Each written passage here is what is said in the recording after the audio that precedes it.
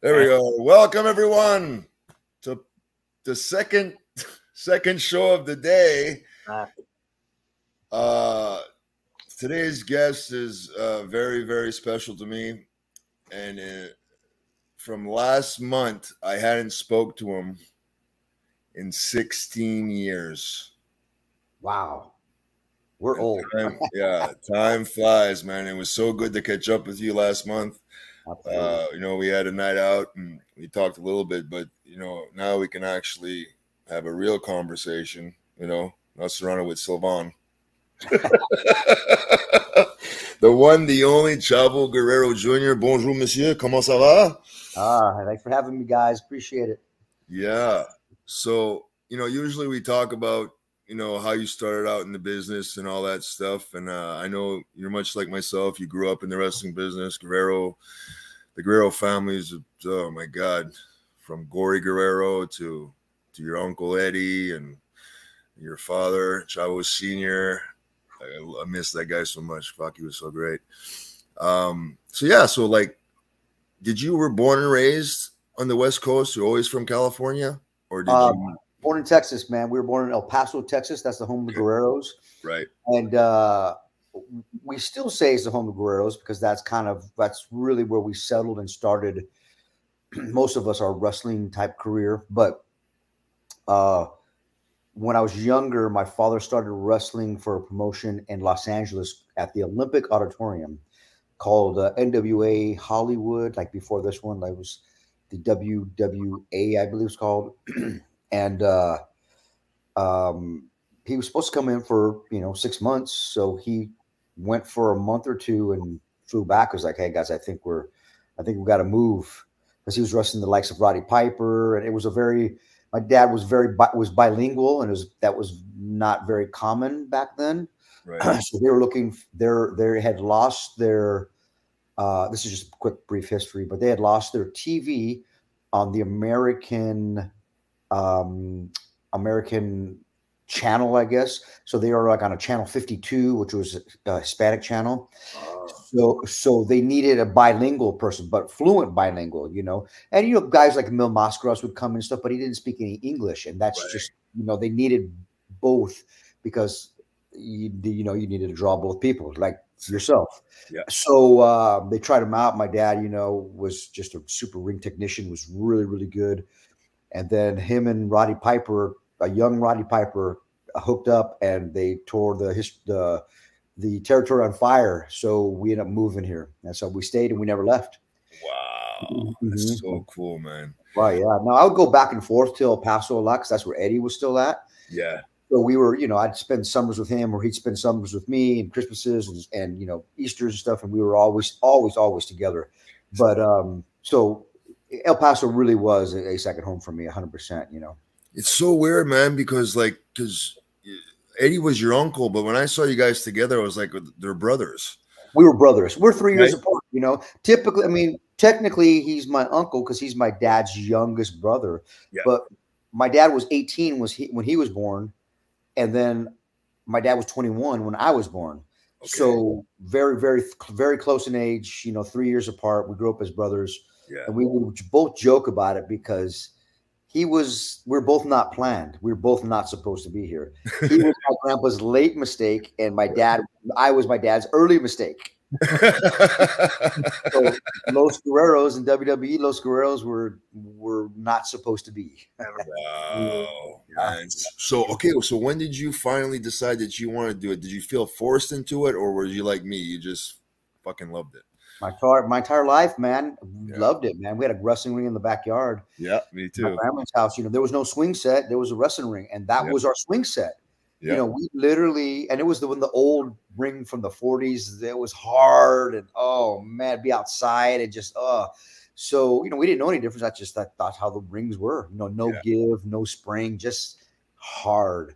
Um, uh, and you know, I mean, that was our tent. We we learned we both learned to walk in a, in a wrestling ring. We would camp out underneath it. We would, yeah, we would take off the top rope because it was too hot, tall for us. So the second rope was was our top rope. We right. would jump off of that and stuff. I can't believe we didn't kill ourselves in that thing. Right. But really, I mean, like that was yeah, that was we were always wrestling our everything was wrestling. Coming from a wrestling family, our promotion, you know, my grandfather has promotion there, so everything was wrestling. You know, he he was the first one to have the dual promotion that was in El Paso, Texas, but also in like Juarez, Mexico, and places right around that. So we wrestled both places. so, you know, um, anybody uh, anybody from like the like the world class, you know, the Von Erich territory yeah. that would come wrestle for my grandfather. Well, they loved it because they would wrestle in in Juarez, Mexico as well. Right. And they would be able to go, you know, over the border and have fun and do all this stuff. So, you know, they all loved it. It'd be like, you know, going from wins, you know, from um, um, what is it? Um, was it uh, Buffalo to Windsor? What's what's next to Windsor? Detroit. Detroit to Windsor, right? So we go Detroit, and Detroit's great, but then you go Windsor, and that's really great. you right. know what I mean? Yeah, you it's kind of like uh, Stu Hart because Stu would run Alberta, but he also went down in the states into Montana. Exactly, and right, but Montana. Montana was nothing. Montana was nothing there, so he would do that occasionally, but there's not a lot of a big population.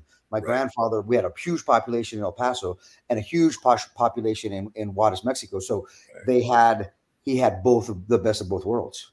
Wow. Mm-hmm. So, but I mean, the first time I saw you wrestle was on WCW. But I mean, you had a whole career before you. Because shit, man, how old were you when you got to WCW? So I started WCW. At tw- uh, I was 25. So I really didn't have a whole career. So I, I, I, I, I started. So I was, I was ready to start. So Eddie started training when he was, I think he's, I think went pro at 18. Mm.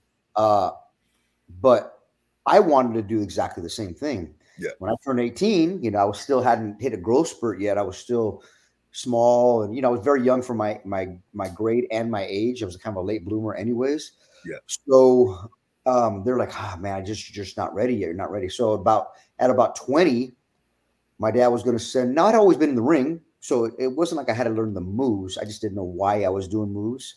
Right. So I just, you know, I could do any move. I just, you know, I've been doing my entire life. so and thinking of matches and actually helping my dad. Like I would say, "Hey, Dad, what if we did this and did that?" And he's like, "Oh, that's that's a good spot." Like I would think of spots when I was a kid and tell him when he was in UWF, and sometimes he would use them. You know, he'd be like, and I'd see a, a thing on TV and say, "Oh, geez, that was my move. That was my. that was awesome." But wow. um, and then at twenty, you know, he Billy Robinson was wow. good, really good friends with my dad. My dad really, really respected each other, and he was going to my dad was going to send me to um, UWF in Japan. It was like a three quarter shoot. Right. And then Billy was like, "Yeah, absolutely, bring him down, bring him." And then at the last second, my dad's like, "Man, you're going to learn a lot, but you're going to come back beat up. They're going to beat you up. I mean, you're going to have cauliflower ears. You're not going to be this what you look like now." So we backed off of that, and then at like 21, 22, about 21, we were going to go to Mexico and then my dad's like, oh man, he's like, they're gonna kill you for the stuff that we've done. They can't they can't beat us, but they're gonna beat you up. So we just had wait. And Eddie was struggling through all that. He was 18 by himself, 20 years old, and in Mexico by himself. Then my dad and my uncle Mondo actually went there, and they all tagged for AAA. But before that, you know, Eddie was on his own. He said, "Man, he's like, they were, man, I was fighting every single night because, oh, you're, oh, you're a Guerrero. Well, you know, he says, shit, he had my grandfather's guys that were still around were, you know, trying to shoot on him and stuff. And, you know, so, oh, so that got to a point to where I was kind of like, okay, at 23, I said, that's it. I'm, I'm, I'm, I don't care what you guys doing. I'm, I'm wrestling. So I was training a lot, training with my uncle Mondo and kind of doing that stuff. And then at, at right, right at 24, I moved to El Paso. I left everything in California. I moved back to El Paso to live with Eddie. I lived with Eddie for 10 months, training, wrestling back and forth in Mexico, you know, as much as I could. You know, I was wrestling probably three, three days a week mm-hmm. there. Uh, and then um, I got a, Eddie was in WCW. I got a call from WCW that their, their cruiserweight division had just taken off. Right. Without the cruiserweight division, I would have, I would have gone there. But Eric Bischoff was like, "Hey, man, we're looking for guys. We just brought some guys from Mexico. We got you know Juventud and and Rey and stuff, and they said we need it. We need we need some guys. So Eddie's like, "Okay, I got a guy. Why don't you come check him out?" So it's Chavo's son. So he brought me there. Met, uh, met Eric. Eric was like right away, like, "All right, cool. Like this is the guy." Well, I didn't know shit. I didn't know what I was doing. Mm. So I wrestled uh, William Regal, Steven Regal, and he made me look like a million dollars. He asked to serve with me as a favor to Eddie. He made me look way better than I actually was. Yeah, and, and he, could, he could have easily done the opposite. oh God, he could have beat me up, and he could have. I could have. That could have been the end of me. Yeah, he made me look much better than I actually was, and um, I got a job right there actually. Wow. So no. ten months, ten months after I left California to go full full blast, I was in WCW. Wow. Okay. Yeah. So what year are we talking now? 1995. Holy shit. Okay. Fuck, I didn't realize you were in there so long. 95. So you were there right until the 2001, right till the end. Right? Until the end, yeah, yeah, yeah. So I was there for a good, whatever it was, you know, four years. years. or five, five. I don't think it was six. I think it was five years. So I think we got bought in 90, in the end of 2000 or something like that, or something like that. It, it was something like that. But I know, yeah, it was maybe, maybe 2000, start 2001, something. Um, I, I that's, yes, I was there the whole time.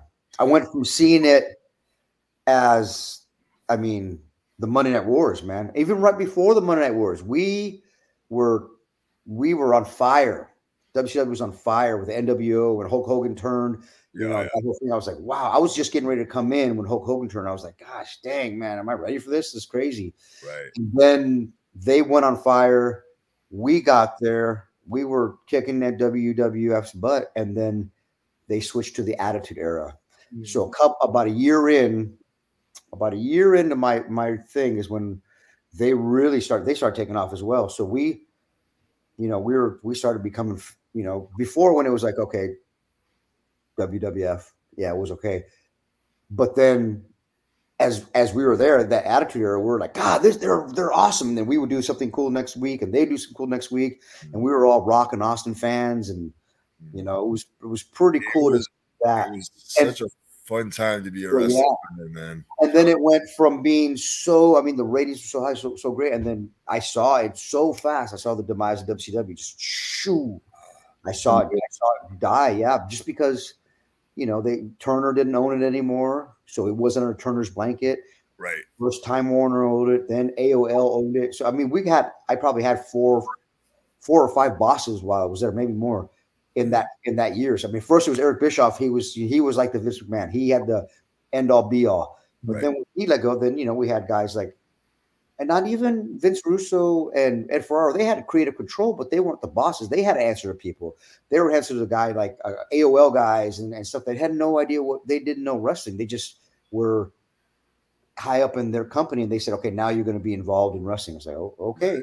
Yeah. So I saw it just go, just just just nosedive. So, in your professional opinion, you'd say it was the merger that really killed it. Well, yeah. I mean, I, I yeah, absolutely, absolutely, because. We weren't. So Ted Turner, the story goes, and this is what we heard a lot of times. I didn't talk to Ted Turner on this, but I've heard that he um you know, he want he at first had WWF on his networks, his TNT or TBS. Yeah. But then when he wanted more money and didn't really make a deal with with Vince, Vince left that network, WWF, and Ted Turner says, "All right, no problem." So he bought the NWA, renamed yeah. it WCW. Calls up Vince and says, "Hey, Vince, by the way, I'm in the wrestling business." Yeah. Vince goes, hmm, "That's funny." Because I'm in the entertainment business. Yeah, that's true. And then they were running like WCW was was crappy. It was that was that was second rate. It was crappy, but they he wanted to compete, so he had the money. He was running out the big arenas and selling two thousand seats and curtaining off everything. This is Ted Turner on purpose. He was like, "I'm I'm running with their running." Yeah, and, and you know, then you buy, you know, pay a check to you know Hulk Hogan, you pay a check to Randy Savage, and you start bringing people over, and then Scott Hall and Kevin Nash come, and Lex Luger, and all these people start jumping, and now there was another place to go, and then that that took fire, and then he's Turner's baby, Turner's baby. So Turner's like he was a wrestling fan, he loved that stuff, so he kept it going, kept it going. It was huge, but then when he when he sold, you know, Time Time Warner and AOL, they started you know, Ted Turner owned everything in Atlanta. He learned the owned the Braves. He owned the the uh, WCW. He owned um, uh, like God, I think he owned the the Hawks and he owned the Um, Isn't there like a CNN tower, dude? That's his, right? yeah, CNN. He owned CNN, all that stuff. Yeah. Well, then that was our home, you know. Well, Yeah. then uh, slowly but surely they started, you know, the new company started selling off. They didn't want to be in sports. They Right. started selling off everything Mm. and getting rid of it and getting rid of it. And sure enough, they, you know, Then you hear different stories. I listened to a lot of like shoot interviews. Like Chris Kanyon, may rest in peace. He was saying that there was lawyers that couldn't stand the fact that these like dumbbell wrestlers were making more money than her, and they were like try to like renegotiate the contract to where you know what I mean. well, they were just before the agents. And um, now we had Hulk had agent, you know, NWO had Right. agent, like, you know, Scott Hall and Kevin Nash agents. Yeah. But we didn't have agents. They didn't want, they did not, you're, you only a certain tier could have agents. And that's just the way it was. Right. Um, so they did not. They they yeah. I I won't name names, but I remember that lawyer even saying like Prince Iaukea one time saying uh, he was trying to renegotiate his contract, couldn't come to terms, and she's like, "Well, where else are you going to go? They don't want you up there. Get out." So I mean, that's her job, but at the same time, you know, where's I don't know where they are now, or he or she is now, Right. but. um, And Prince Iaukea, didn't he win the lottery too or some shit? I it like that. He was a great guy. Mike Hayner was a great guy. But I thought he, he won some type of lottery. Now, with maybe not millions and millions, but he did all right. Yeah. Good for him. But he was he was a great guy. He was Yeah. a tough son of a bitch, though, too. Okay, so so WCW closes, but here's the thing, man. Like, because Eddie had left with with Dean and Perry and Chris, Oh, yeah. But you had stayed back. So did you get any heat out of that from like Eric or whoever was in charge? No, no, no. So what happened was they were done. They were fed up, and they had just gotten really good raises and good, good. um You know, at least Chris, Eddie, and Dean did because they always stuck together. Uh They always, um you know, they they were doing pretty good, but they just got tired of the BS, and Yeah, you know, they went from being a really awesome place to not an awesome place pretty quick. Right. Um, and you know, uh, they walked, and I was I wasn't on that show. And when they walked, I got a call from Eddie and said, "Hey, we just walked out." Eddie didn't even know. Eddie was walking in, and as he's walking in carrying his bag, Dean and Chris are walking out and saying, "Hey, we're quitting right now. You want to come with us?" Or not? and Eddie went, Eddie goes, he had his bag. He wasn't even in the building. yet. He was had it rolling his bag. He said, "Okay." Your around, turn. Turned it. went out walked with him. I mean, it was like it was that's that's the truth. Turned out and said, "All right." Eddie, typically being late, just walked around, turned around, and walked out with him. wow. they all quit. So he called me and said, "Hey, man, we uh, we we walked out. I think this might, I don't know for sure, but I think it's right before even Perry was with him. Okay. And then uh, he goes, "What do you want to do? You want to come with us or not?" I said, "Do you have a a deal yet?" And he's like, "We don't even have a deal." And I was like, "Well, what do you think?" And he goes, "Well, I think that some spots are opening up here. And I think you should stay and hone your craft. You know, kind of and get and get better, because um, you know he knew I wasn't ready for WWF at the time. You know, I was barely ready for there. You know." Mm. so I did, and I, I'm glad I did. I, I I learned a whole bunch more. By the time I got to WWF, I was much more ready. Even though, you know, the first year I really didn't do much. The first year I had some matches here and there in WWF. Uh, I did tough enough too. You know, that kind of got me some exposure. But then when they put me and Eddie together, I was ready. He was ready, and it just exploded. That was 2003, wasn't it? I want to say end of 2002, is 2003. Yeah, we were only together for a year, one year, and that's it. And it, all the stuff is W as, as Los Guerreros that we did. That was one year. Wow. Yeah. And because you guys had a long, long program with uh, Haas and Benjamin, right? Before well, before then, we were we did the SmackDown six was me, Eddie, Benoit, Angle, Rey, and Edge. That was even before the uh, the Haas and Benjamin. All those. And we had that was the angle that the big angle that we really had. I mean, we I mean we a lot of people, you know, and uh um yeah, yeah. So it was it was I mean, it was a year total. I mean, there was a time that I got hurt, I tore my bicep, so that took off like three months, but actually together doing stuff was a year. I think because I was uh, before I, I brought you on, I was thinking, did me and Chavo ever wrestle? And then we did. We wrestled in OVW when they put it was a 2003. I think Mm. that bicep injury you're talking about, they brought they sent you to I think OVW to train a little bit to get back in ring Oh, shape. And then yeah. we worked. It was me and Sly against you. It was either Johnny Jeter or Chris Cage. Wow. Yeah. I, oh, I Yeah, I know. We have so many matches. It's like I can't remember, right? Yeah. Wow. Really? Yeah, Okay. Yeah. It was an OVW. I looked it up. It's on the internet here somewhere. If you look it up, on Okay. Cool. That- That's news to me. I can't believe there's so many people that know all your stuff. Like I don't know all this stuff. Like Dude, they forget- have this. What's this website called? Cage Match or some shit. Yeah, exactly. Every single match you've ever done. that's crazy. I had no clue. Like um, James Storm from TNA one time, he was like, "Yeah, man. Well, we worked before." I said, "We never worked." And he's like, "Yeah, I was an extra in WCW. Came in without the beard, short hair, and we and there was a you. It was like I think the Misfits in action it was me, Hugh Morrus, and and Lash LeRoux. I think against him, like two other guys. Yeah. Well, really, I go, God, dude, I I don't even really remember that. Sorry, no offense. Okay, one question I want to ask: While you were with WCW, uh, were you a part of the crew that went over to New Japan while under contract and did tours? Yes, I did the two Super Junior tours over there. Okay. Uh, my first year in, so 1990, uh, start 96. I did two Super Super Super Junior, the Super J Cup. How was your experience? Did you enjoy it?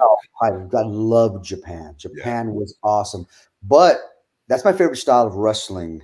Yeah. But you know, I had to get used to it. You know, that strong style. My uh, my dad, you know, my dad had been to Japan 30 or probably 30, 40 times Your dad was a big star over there, right? in Japan. Yeah. Um, he was the first one. He was the the uh, New Japan uh, junior heavyweight champion, and he didn't drop the belt. He s- switched companies to All Japan and took the belt with him. And you didn't do that back then, so that was you didn't do that. So he did that. So he had both belts for a while, and they they, they did not like that, you know. But he, um, yeah, he was he was the first one, one to kind of kind of do that, and kind of just say "F F everybody, I'm I'm out. right. but uh, so he was pretty big, and he uh, I called him up and said, "Hey, Dad, I have um, uh, a tour to Japan, my first tour. I- You have any advice?" And I can cuss on here, right? You can do whatever you want, bud. So he goes, uh, he goes, well, son. He goes, yeah, I do. And I go, well, what's that? And I'm thinking some nitty gritty. Okay, so when you wrestle, I'm thinking some stuff, you like some super insides, Yeah. wrestling insides. And he goes, he goes, you need to beat the fuck out of him. And I went, huh? Like, what do you mean? He's like, like, like, you know, get rough on him. He was like, no, you need to beat him up. And I was like, oh, okay, oh, okay. Well, my very first, it was my first year in the business, you know uh, you go from being you think you're tough and then you get into the ring with all these these actually men and you're like "Mm, i'm not that tough and you uh i, I talked locked up with uh um kanemoto koji kanemoto Yeah. we tied up went to the corner my hands dropped and he slapped the shit out of me broke my eardrum boom and i went oh oh that's what my dad had wanted so Yeah. turned into a shoot we had like a sh- shoot little match and it was a shits it's horrible, you know, because you know you're gonna pro wrestle, or you're gonna shoot. It's two different things. So um, you know, trying to work, but still shooting, and then they, you know, Japanese they'll they'll lighten up, they lighten up on you, and then the second lighten up, they uh, then like, oh, we're back to normal, and then bam, they come, they, they clock you again. So that's I learned to just like, oh, well, oh, really? So just start bam, bam, bam, bam, bam, and then you earn some respect, and then you just have some decent matches. but that was my my my introduction to strong style but i love it that's my favorite type of matches i mean because when it's done correctly and it's not you know i'm gonna try to beat you up you're gonna, you're gonna try to beat me up when it's done correctly it is it's beautiful Yeah. I got a a story about Kanemoto. So is he still I was- wrestling I, haven't, I don't know uh, he's still wrestling. Yeah, he's he? still wrestling. wow okay So I was on. We're working for a company called Wrestle One, right? And you Mhm. know how you get to the shows like like three hours before, right? And a lot of the guys work out and stuff. right yeah i told you you get total workouts in Well, I would usually get there and I'd go find a convenient conveni, go find a convenience store, get some food, and you know for later. Well, anyway, I come back from the convenience store and I see all these fucking cops. I'm like, what the fuck? I walk into the front door, Kanemoto sitting there with his arms crossed, and I see a trail of blood where a fan is like holding his face full of blood. Oh, I guess it was one of these smart marks who smarted off the Kanemoto, like, yeah, yeah, you're not in New Japan anymore. You're a loser. Boom. And Kanemoto just beat the shit out of this kid. Wow. They called the cops. Muta had to go have dinner with the kid's family so he wouldn't press charges. Yeah.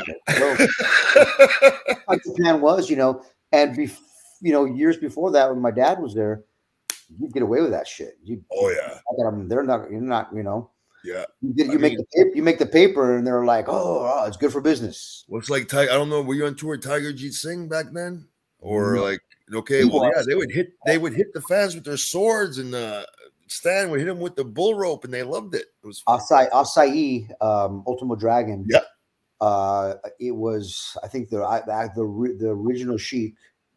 Uh, you know, he yelled at. He was a kid in the audience. Uh, Asai was. He yelled at him. She turns around and punches him. Boom, knocks him down. And and Asai stands up. and is like, I took his I took his punch. I took his punch. I took his punch. It was so excited. Was so Right. honored that Yeah. he got punched from. It wasn't like I'm going to sue you like it is here. You know right. you still believe because you know they would they'd still beat the crap out of him out there. So you have to believe. Yeah, man. So boom, we're in WWF. Uh what I want to know is I left in 2007. How long did you stay after that?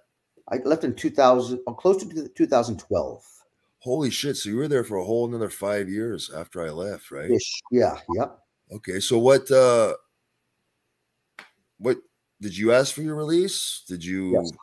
okay. I'm pretty proud of that. They're not proud of it, but I'm pretty proud of it. that I, you know, you.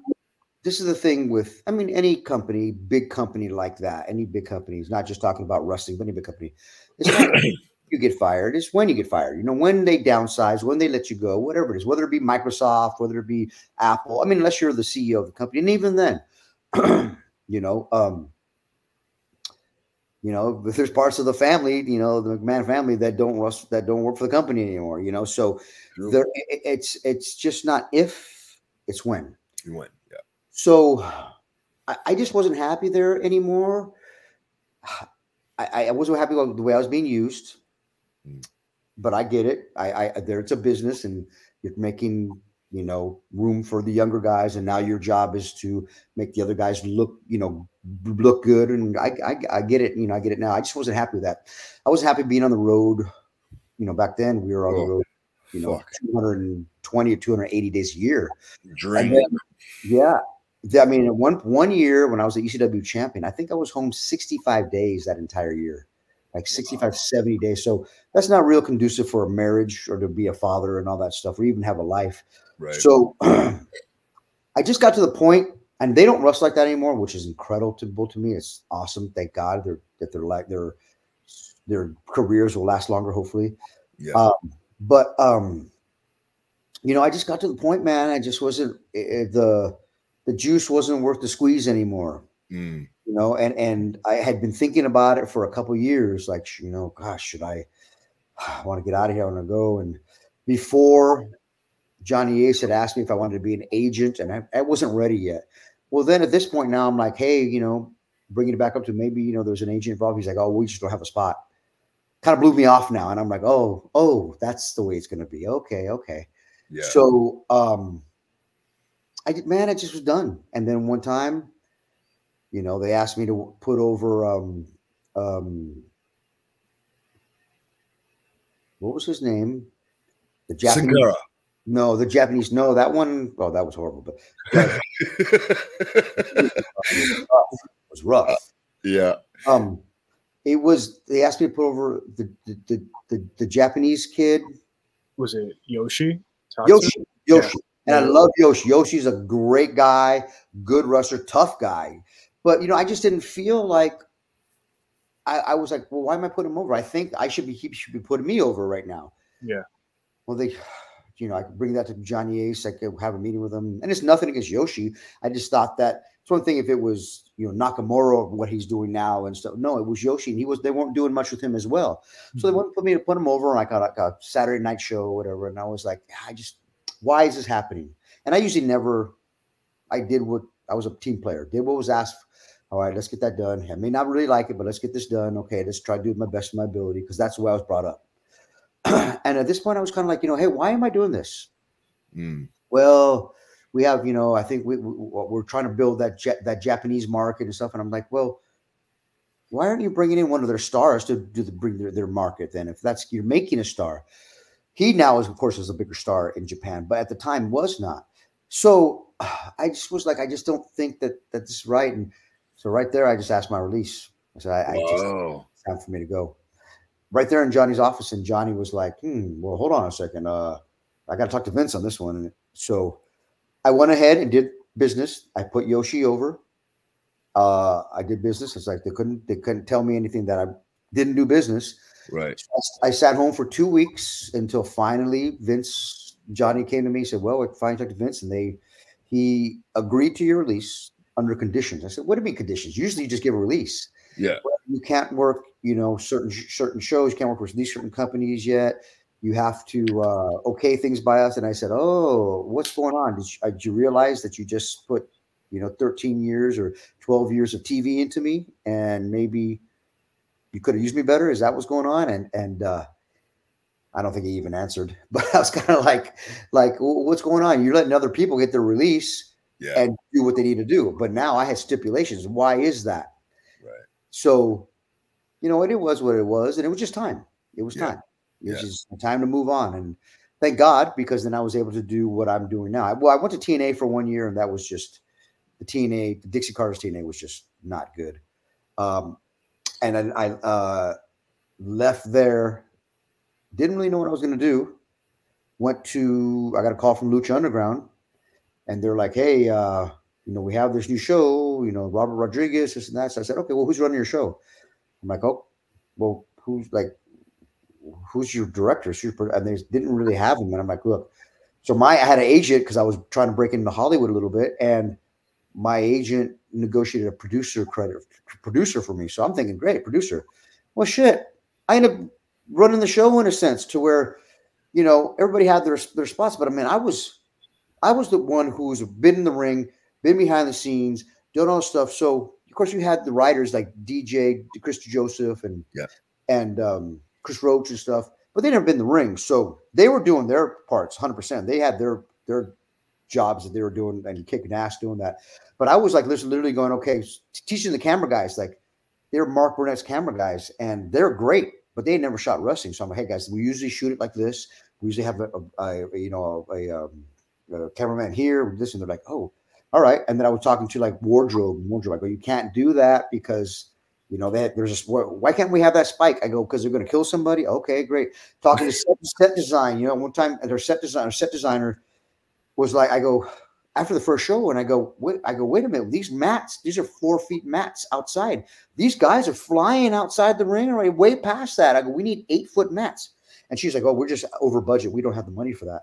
Well, as I as she's telling me no, our um, showrunner, because we had a showrunner, which because it was a TV show, um, Eric Van Wagenen was walking by and he goes, Child, what's going on? I said, Look, man, these guys in from Mexico, from AAA and stuff, they don't have anybody to sue over there. They get hurt here, they got Mark Burnett and Robert Rodriguez to sue. He's like, What do you need? I said, I need eight foot mats. He's like, Order them right now. They ordered them. Like, right, it was that easy. They listened to everything I was saying. So, I mean, I was talking to the director, how, how what camera to shoot from. There was there was the first season, I was calling, I was calling the matches in my ring gear, stretching as I'm stretching, calling the matches. And I said, okay, guys, I'll be right back. This was going to happen, blah, blah, blah, blah. I put the, the headphone down, go in the ring, go wrestle, and come straight back for the next match, sweating, you know, hurt, whatever, put my headphones on, and then call the next matches. Wow. Yeah, that was the first year. It was pretty, it was pretty crazy until like I was the only agent. Okay. Then we, then we started having Vampiro agent. Then we Mhm. started having uh, a Konnan agent. So then it kind of it kind of um, you know just morphed into what it was to what it was. But it was it was it was awesome because I, I I didn't know I knew that much about wrestling. Right. Didn't know. I was like, they're like, how do you know this? I said, I, I, I don't know. I was like, I guess You've been around your whole life. It just comes natural, right? I had no clue. And then I learned even more. And then I learned TV. And I took Yeah. all the stuff I learned from Kevin Dunn and Vince and all this stuff and kind of applied it and learned more. And then uh you know, that morphed into Hollywood to Glow and stuff. And then I really started learning TV. Okay. Paul London said Lucha Underground was his favorite company he ever worked for. Yeah, we well, we first brought him in, I believe, as a, as a talent, if I'm not mistaken. And then we ha- had him produce with me as well. So he was, you know, an agent for the matches as well. So he was great. He was doing, he was killing it. Paul was awesome. I love Paul. He was. Yeah. We had some great matches in in WCW or WWE back then. Yeah, I had a good little program. But when he came in, you know, he had morphed and evolved, and God, man, he got even better. Wow. Mm-hmm and now you're Mr. Hollywood, right? You just I guess I guess people call me that. I guess I guess it's um I found my little niche. Right. And I found um I was very specialized in Hollywood. So not only just learning TV, but knowing what I know in wrestling, but it's not wrestling, it's TV wrestling. It's two different things. Right. So what I teach, so when for example, when I'm teaching so the new movie coming out, um, Iron Claw, the story of the Von Erichs movies. That's yes. coming out soon. But I'm teaching Zac Efron, and not to drop names, but I'm teaching him. Yeah. I'm going, God, okay, this what I'm teaching you is kind of like what we do in wrestling, but it's not. I'm not teaching you to wrestle WrestleMania. I'm teaching you to look like you know how to wrestle in a scene. Mm. Two different things. I said, but at the same time, what I teach like a seminar, like a pro wrestlers, doesn't work here. So there's two different things. It's both similar, but they're both very different. You can't just apply one to the other. Okay. Um, and, and and people couldn't realize that because we we you know have we have as pro wrestlers we have a lot of tricks up our sleeves and how to a lot of cheats we call it how to work the camera here and how to make this hold look like this but really feel like this. And um so at one point in glow our one of my directors, one of the big directors, um, he Jesse, he was he goes, hey man, so you're you know, God, it really looks like these these girls are, and even our our stunt girls, God, they could. Do you think that they could go to you know WWF, WWE? I'm like, two different things, bro. I said, no offense, they're all athletes, they're very very good. I said, but it's two different things when you have, you know, um, Charlotte Flair kicking you in the face, like for real. Yeah. You know, you're you, all this all, all this rehearsing stuff that we're doing in these scenes. I go that we don't really do that in WWE. We just kind of go up there and wrestle. Like what? How is that possible? And I said, well, I might talk about the match, but we just we're not. I, I don't not rehearsing it for a month. You know, right. somebody just asked me about Logan Paul and I said Logan Paul is doing great. He's he's a natural. He's awesome. I go, but he's also coming in for one match Uh, you know, he's wrestling three times a year or four times a year and coming in and rehearsing that match for a month. Like we don't have the luxury of doing that. We're not, we don't do that. Right. I go, I'll do what he does by walking in the ring and going, you know, maybe yeah. calling finish. Okay. Maybe a spot and then let's go do it. They're like, well, how is that possible? So I, so I said, he's doing great. The what he's doing, he should be having great matches for rested for uh you know rehearsing for a month or whatever. Exactly yeah. enough take nothing away from him what we do is ballet. It's very it's an art form. It's very very very very tough. Yep. You know? Yeah that tyson fury uh, there's an article that came out. The boxer you know he's from uh, england. Yeah, yeah. Tyson. said said wrestling's too hard, man. I'm sticking with boxing. Well, any any UFC person who's done both will tell you that. I mean, some of the UFC Hall of Famers and some of the toughest guys I've ever been around and ever known, like Don Frye and Dan Severn and Ken Shamrock, they say, "Oh, all our injuries are from pro wrestling. They're not from they're not from MMA." And not taking anything away from MMA, he goes, "But you know, he goes, I, I train for six weeks, I fight, break my nose, and then I I I sit out for the next six months and right. recover and stuff." You know, he goes, um, um, Don Frye was saying, my bad back, the reason he's had had stem cells, so he goes, that's from wrestling in Japan, from New Japan. Yep. So I was trying to be Ric Flair, and Flying goes, that's why my back hurts. That's yep. why I have have surgery in my back. He says, not from from MMA.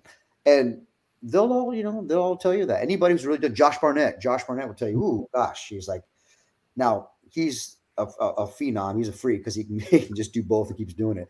But he'll tell you, like, oh, he's like pro wrestling, man. He's like, that's that's no, it's no joke. We just mm-hmm. it's a it's a different kind of pounding, yeah. as as much as we do constantly. You know, I mean, 250 days a year. That's that's that's tough. And you got to be a little cuckoo to do what we do. You really gotta, gotta, go, you gotta be you gotta be a little insane, a little narcissistic, a little vain, a little to do what we're doing, you you have to be. That's why we're all marks for ourselves. We're all a little crazy, you know. So like my friends, when I transitioned out of wrestling, my my friends here in California were like, "You're you're like you're like insane." I go, "Me?" I go, "I'm the sane one in wrestling."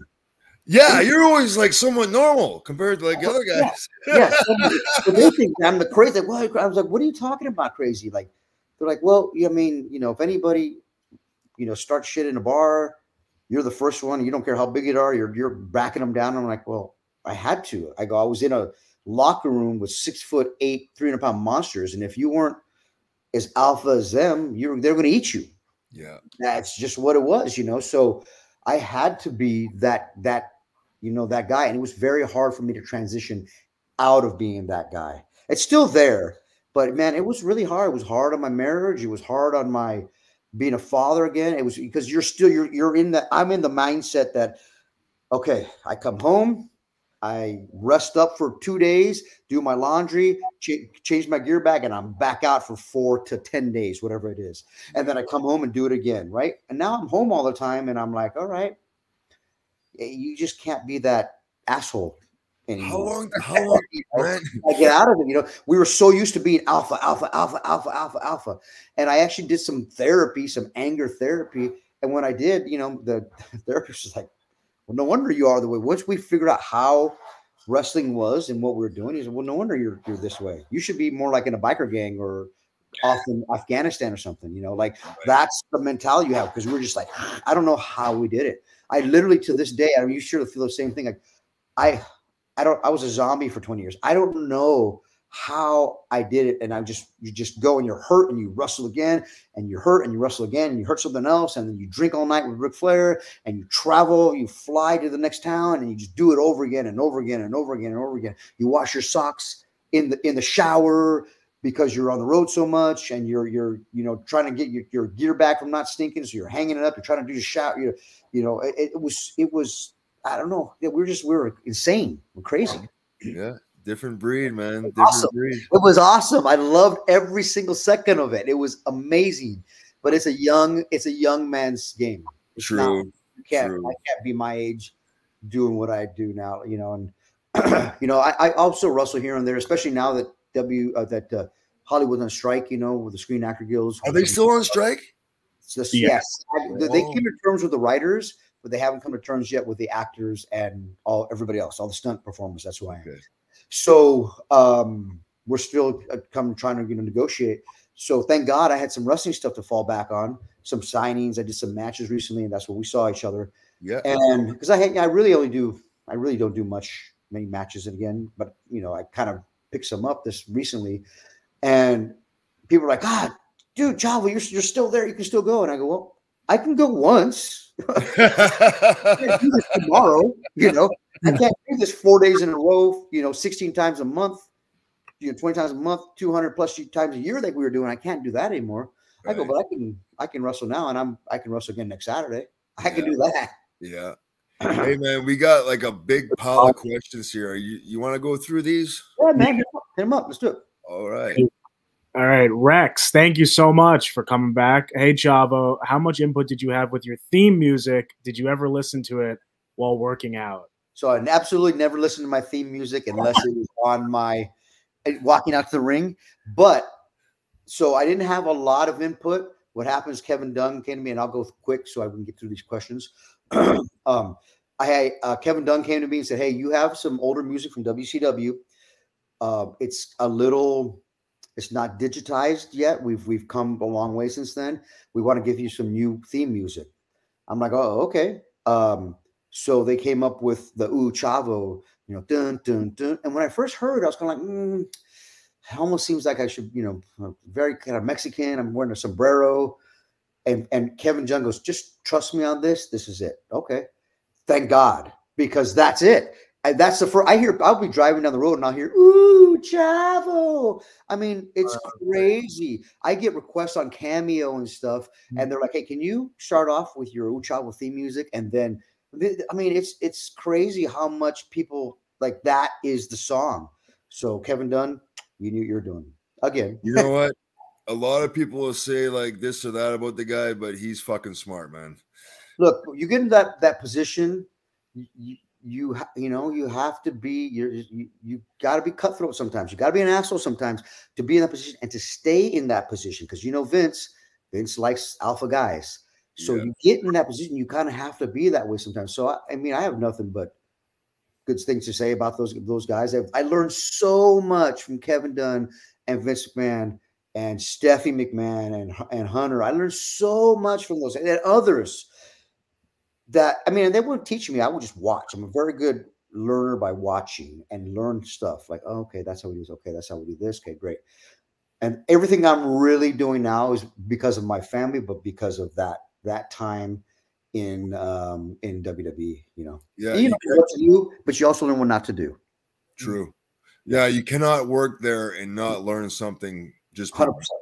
You know what and, I mean? And, and I learned stuff from Eric Bischoff. Eric Bischoff is so smart when it comes to that I mean, and it was so many different things, but he really, when I hear him talk, he has so much, you know, knowledge about working with the networks and product shares and and, and just so much different stuff I can't even get into. Like he's, I'm like, wow, like that that guy knows his stuff, whether you like it or not. And the we, they all make mistakes. Every one of us gonna make mistakes. Yeah. And straight from Vince's mouth, he's told me he was a man. I've failed more than I've succeeded, but when I succeeded, I succeeded pretty damn big.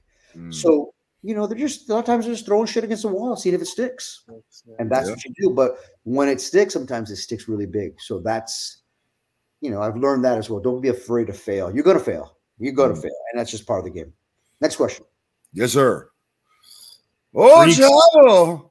Instantly with me. Thank you for the years. you know what? Thanks, you guys. And that's uh I was never trying to be the cool heel. I mean, we were me and Eddie were cool when we were doing, you know, Los Guerreros after we were our heel run. People don't remember the heel run, but they hated us. They hated us. And I was always like, I, I never ever, when I'm a heel, I never wanted a fan to go, never do this to me. Like, um, well, he's an asshole, but that's a really great move. I never wanted that. I always wanted, you know, I came from the year, the like your father's generation yeah. to where I would I wanted so much. I wanted to fight my way back to the ring, to the dressing room every night, sneak out that window. That that's a police escort to leave the fucking building, right? I didn't have people. If I didn't have a guy trying to jump the rail or trying to spit on me or calling me derogatory names, then I was. I felt like I didn't do my job tonight.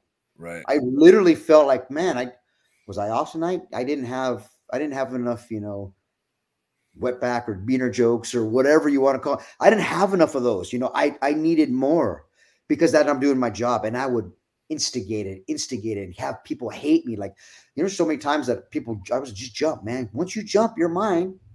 Yeah. You're jump, just it. jump. And it's, oh, ring, hey, yeah. if you want, I'll be in the, I'll be in the lot in the, um, in the parking lot afterwards. Just come, let me know, brother. And, uh, that I mean, I was 100% serious. I, I wanted to fight every night. As a heel, though, you have to believe it. And if you don't believe it, the fans are not going to believe it either. And that's, I believe that I could win every single night, that I could, I still believe it. I still, if I'm getting in, in a fight, I still believe I can win. And I've been proven wrong a couple times, but uh, uh, I still believe it. And if you don't believe that, they can tell in your eyes in two seconds. So, right. If yeah, it's real, they can feel it. Yeah. It's, it's real for me. I come from, Fit Finley's line of wrestling, like the realness and the the work part, the shooting work was just this fine line, and we stepped over both ways a whole bunch. And Fit, I remember Fit saying, "It's so it's not this is not fake. This is real to me, and it is." hey, Hi, Chavo. What happened with Lucha Underground? It got me watching wrestling again. Love your work. What Lucha Underground wrestlers do you think deserve a shot at bigger stage besides Paul London? so uh, Lucha Underground was an awesome project. Was my baby. I loved it so much. Uh, but sometimes you have a lot of cooks and none too many cooks in the kitchen in a sense. Yeah. yeah sometimes yeah. you didn't know what to do with it, and, and, and it was an expensive show. It was an expensive show. Um, but it was the network's highest rating show as well. So when you have a highest rated show, You know, those decisions were made above me. We loved the, the ratings were great. The show, I believe, was amazing. We were able to tell stories and people, you know, we had a guy who was a spaceman. We had a guy that traveled interdimensional. A guy had a guy was a dragon. But you, but because we did it in a TV show set, like like set frame, it worked. People, you believe, even though you believe, but you don't be like, oh wow, it was really cool. You know, it was really cool. It was almost like Game of Thrones with wrestling. It was just really just just different. It was really cool. Um, most of those guys have gotten shots, man. Look at all the guys that have, we had at Lucha Underground, and I say that I had, but we had some other ones, you know, like you know, uh, Konnan, you know, was definitely a big part of that as well. He had a huge influence. Um, you know, Prince Puma, who was Ricochet, Willie Mack, Brian Cage, mm-hmm. um, the Lucha Brothers.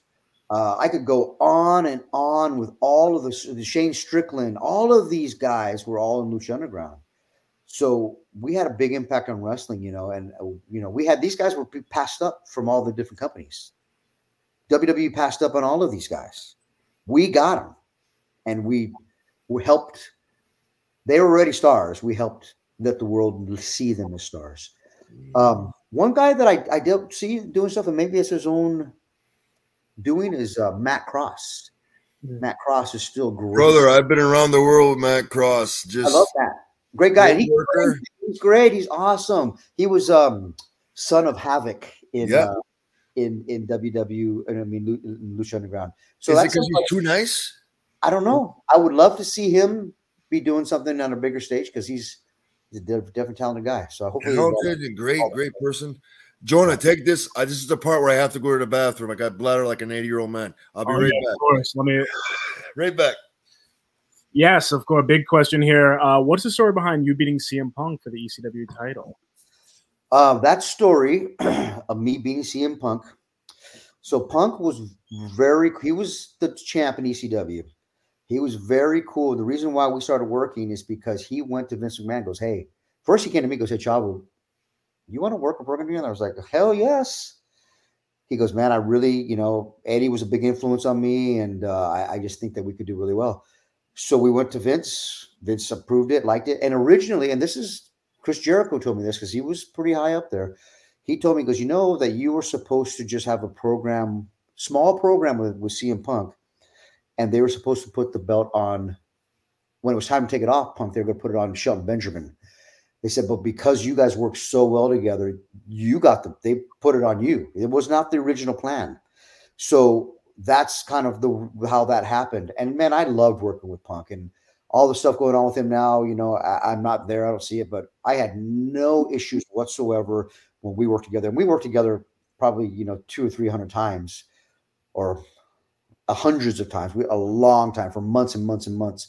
And it, we never had a problem. Like literally, not one issue. We'd call most of it in the ring. We'd go in there, just go for it. It was awesome. I so I had no issues with it. I had I, I wish we'd work again. That's how that's how much I liked it. oh, it's really cool to hear you say that. Wow. Um, a question about something in current day right now. I wonder what your thoughts are on the LWO with so much history with Rey Mysterio and, and just the thoughts on how they brought it back and landed it again on SmackDown right now. you know, it was a WCW thing. And I'm always to the fact that I like new stuff instead of recycling the old stuff. Mm that's that's my personal opinion. I don't like I like I think you guys can I don't like Hollywood movies that are redone. Like when they redid Footloose, I'm like, wait a minute, I saw the original Footloose when it came out, and you redid it again. I go, is this where Hollywood's at? Like just remaking shit? Like, come on, yeah. let's think of new stuff.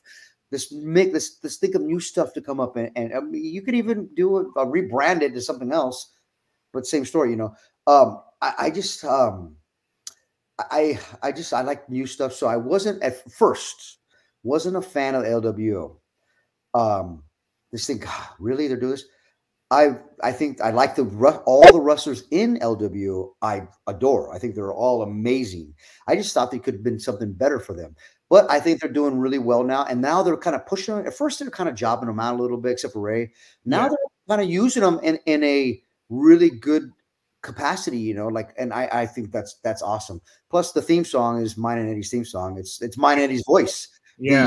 The, uh, the Viva la Raza. That's mine and Eddie's voice. Oh, wow. Yes. So I was a little pissed when Rey came out LWO at uh at WrestleMania in the lowrider that me and Eddie first started doing, and he came out. I was like, "Come on, man, really? How would Right. how would you feel?" I started coming out, you know, in a different organization doing, uh, you know, uh, it's calling it nine four nine and doing the thing and wearing a mask and doing this. I go, man, I go, come on. You, you, now, of course, that's not his fault. He's just doing what is told to him and presented to him. It's a great entrance. Don't get me wrong; it was awesome. And in fact, uh, I had a lot of people coming up to me that when you heard that song, we thought you were going to drive him out, Oh wow. And, right? And uh, it was it was Snoop, which is awesome. Snoop Snoop's right. he's great. I love him. So it was really cool. So so back to that question. Uh, at first, I didn't like the LWO, and now I, I'm I'm growing more fond of it. I think they're doing a better job with him. You think they're doing better with it in WWE than they did with WCW? Well, yeah, well, WCW. I mean, it was too much cluttered stuff in WCW for that. That was Eddie's thing. That was Eddie's thing. Was it his idea? And, um, I think it was a mutual thing between between um, Vin, I know Vince with Eric and Eddie. Okay. Um, and so yeah, for sure, they're doing better in W in WWE with it because in WCW, kind of besides besides Eddie, they kind of were jobbing the guys out a little bit, and they were doing they started doing that in WWE as well, and now you know these guys are actually you know, they're, they're in a good spot right now. I'd love to see them in to get a much better spot, and not just Rey. Rey's always going to have a spot, but Santos Escobar and I just, all those guys. I want to see those guys just like now. You got uh, Carlito with him. Carlito's going to kill it. You know, he's he's awesome. Yeah. Yeah. Uh, where are we Let- at? We're right here. This one? Yeah, you kind of cool. mentioned already, Chavo, but any memories with Paul London in, in WWE and Lucha Underground? Yeah, that piece of shit. no, I great. love Paul London. Paul London is he's awesome. I even like him the stuff he's doing now way more. He's so good. He's so charismatic. He's taking all this. He's an actor in Hollywood as well now, Yeah. and he is really taking that and just keeps making this like like lounge singer gimmick to where he sings this full on lounge singer song and then leaves, and people think that's it. And then he comes out and wrestles. It's, pretty- it's awesome. It's awesome. But uh, yeah, in, in um, in um, WWE, me and Paul London, we had a great program together. yeah. And I remember, and I think I just talked to him about this recently. We worked this this match. I was still the champ at the time, the cruiserweight champ, and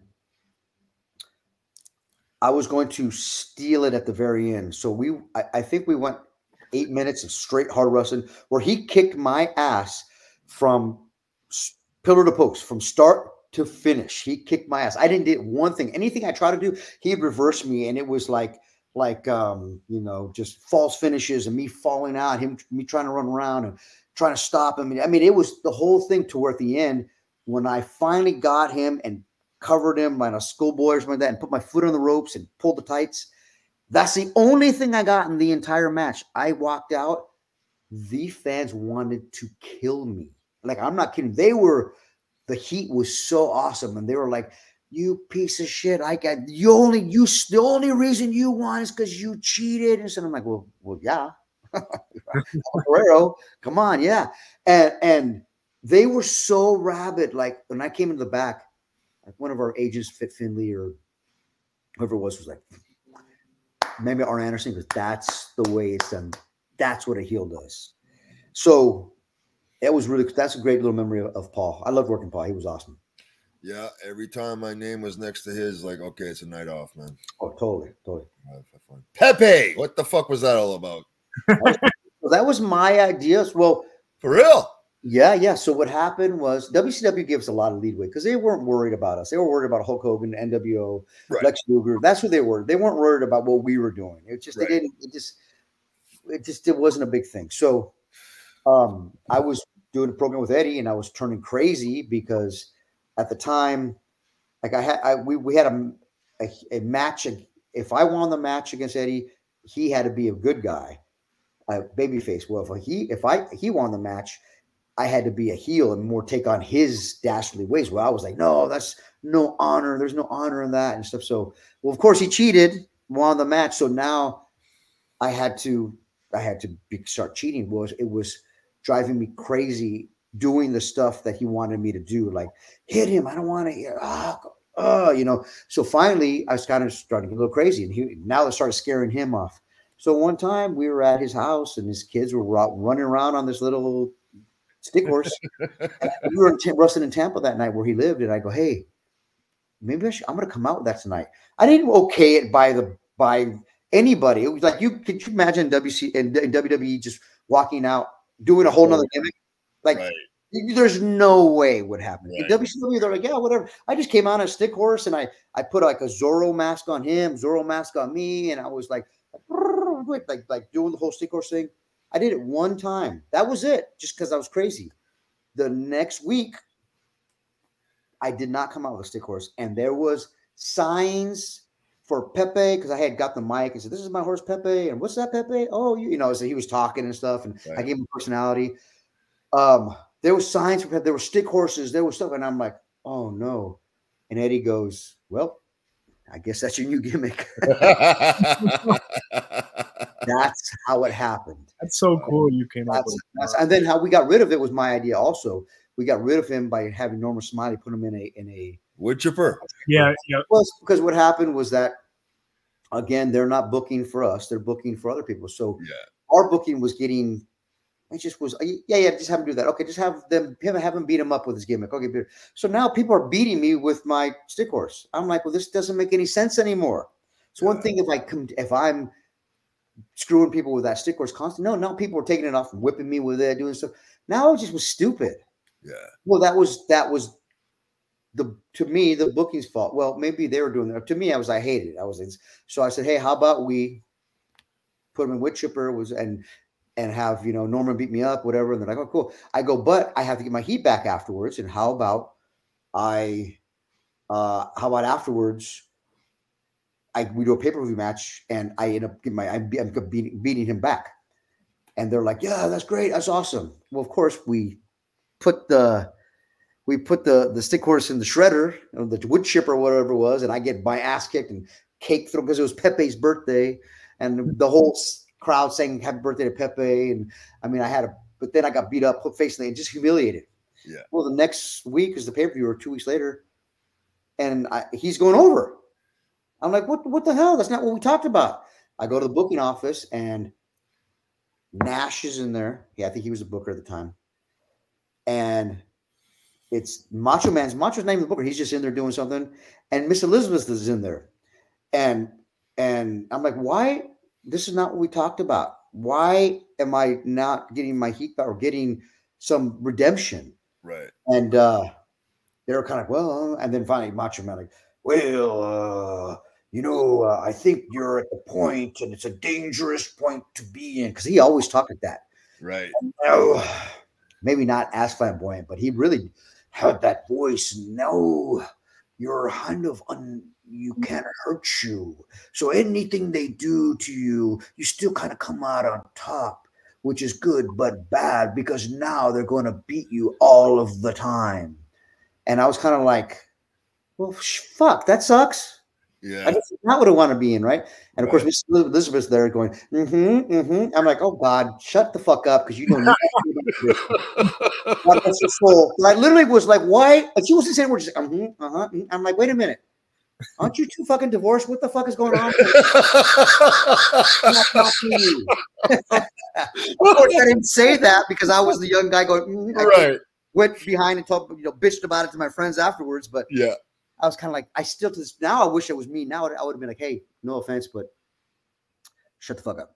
right.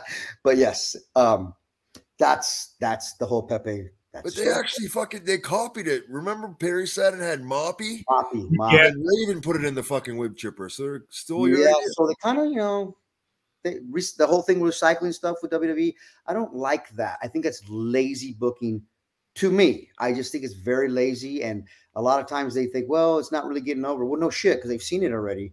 Exactly. And then they'll drop it. So you kind of get screwed a little bit. They're yeah. sticking with the LWO. That's cool. Let's see how long they stick with it. And hopefully they continue pushing that. But at first, it's kind of like, all right, all right, we've seen it before. Right. Right. So I hope they, they do something with us. You know, thank for, for the wrestler's sake, those, those guys are great. Yeah. Next question here. Yeah, man. Good day, boys from Australia. Quick question for Chavo. Any memorable Undertaker stories? I love Undertaker. That he's one of my boys to this day. He's I could call him to tomorrow, and he would not answer. he would uh, probably not answer, but, but but call me back. Call you back. Uh, yeah. yeah, yeah, yeah. Um, he's a great guy. He's he's you know you know Taker's the the there's a reason why he was respected where he was at, not just because his work, but because of the person he was. Um, yes, I mean I have some Taker some some stories of him in the ring, great memories of you know, just his entrance, you're in the ring, it's it's amazing. It's the best entrance to me of all time. It's just so incredible when he comes out, especially with the guys with the torches and stuff. It's so incredible. Yeah. Um, you know, being put in a casket for the first time, that's a little that's a little crazy. You got put in a casket? Mm-hmm. Oh yeah, I had many tip casket matches with him. I probably had you know, maybe maybe four or five, eight was casket. That, was that during the SmackDown stuff with Vickie Guerrero? Yes, yes. You know, so he was putting me in instead of putting Edge. They had a little thing. Yeah, yeah. Me in. yeah. It's when we were doing La Familia stuff. Okay. Uh, yeah. So I had some matches with him, you know, and he was he was great to work with. I would I would like to do more of a program with him. I had a big program with Kane, and we tore the house down. He was so rad to work with. He was so great. I never got to do that with Taker to that level, but storylines with Kane were just. I mean, he we were just we had really really good chemistry in that ring. Really good. Um, story taker stories is kind of afterwards. So one time uh, at, at, the bar, and I've told the story on on my podcast when I had it for a second, uh, but it was we were the last day of the of the tour. I think it was Germany. Our hotel was across the street from the airport, walking distance, like literally walking across the street. So we all had to be up at a certain time and be on the. We had a charter flight so, well, we're all hanging out at the bar, and uh, Taker and I have a couple beers. I said, "You want a shot?" He goes, "Yeah." He goes, "Yeah." Give us a bottle. Got a bottle of Jack. So we're kind of just doing half shots and drinking and talking and drinking. And well, once that bottle goes down, I'm like, "Ooh, man, he's six foot ten. You know, he could drink more. Well, at that time, back in the day, he could drink more than any human alive, besides Andre. he just, he could drink. So you know, we're drinking, and then we finished that bottle. I was like, oh, thank God, you know, I'm drinking. I was like, okay, let me just chill out for a second. Well, my dad's on tour when he was with us, and he puts another bottle of Jack in front of us, and I'm like, oh God, and I was like, oh my God, like, well, I'm not gonna say no, so we're doing half shot, half shot. and then you know, he, he puts me to bed. I was done. Taker was fine. Well, I, I I go. I'll pack in the morning. I'll pack in the morning. I got four hours of sleep and set my alarm. And I never miss my alarm ever. I think I missed it twice in 20 years. But it's due to was drinking. And I was so hammered, so fucked up. I woke up to my alarm going off, and I'm going, oh, oh my God, it's been going off for an hour. If oh. I don't oh. that flight, that charter, I have to pay for my right my way home. Right. Like that charter, like that, you're you're on your own. So I'm like, oh my god i haven't packed and i jumped out of bed didn't brush my teeth. I threw all of my stuff in the in the bag like not packed just just threw it all. I mean it was scattered zipped it up ran across i didn't check out until i ran across the street ran through customs uh not across through security got to the and they were i was the last one on the plane. Like they were like calling me. I said i'm here i'm here i'm here i'm here. And so i stepped on the plane Taker's in first, like, well, everything's first class, but he's always like in the first seat right there. He's sitting there and he's got his, his sunglasses on, and he looks at me and he, and he goes, "Very cool." Clark goes, "Glad you can make it." And I just look, look at him and I said, "Fuck you! Never drinking with you ever again." asshole. That's a great story. and then, of course, I drank with him a lot, of, many, many times after that. But that was literally like, like I, I like you motherfucker, like dude, like I almost missed my flight and stuff. Oh, and then we were flying back to New York. So at we had that charter flight that was the sports jets. Yeah, yeah. Every seat was first class. Yeah, yeah. So I jump in one of the last seats, whatever it is, and I'm next to an office girl, you know.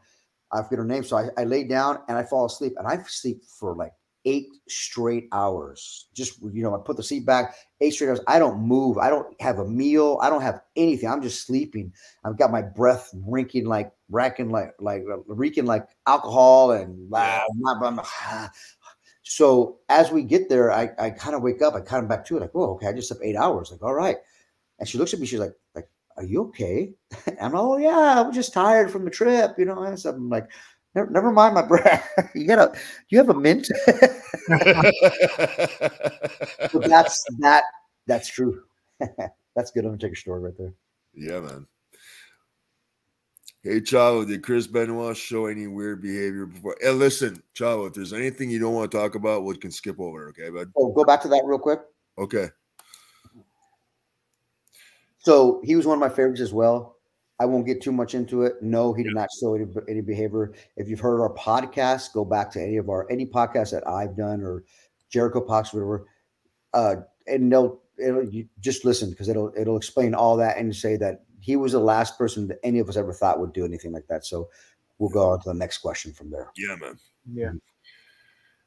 SmackDown 202 was great. Did you like working with Heyman? Uh, yes.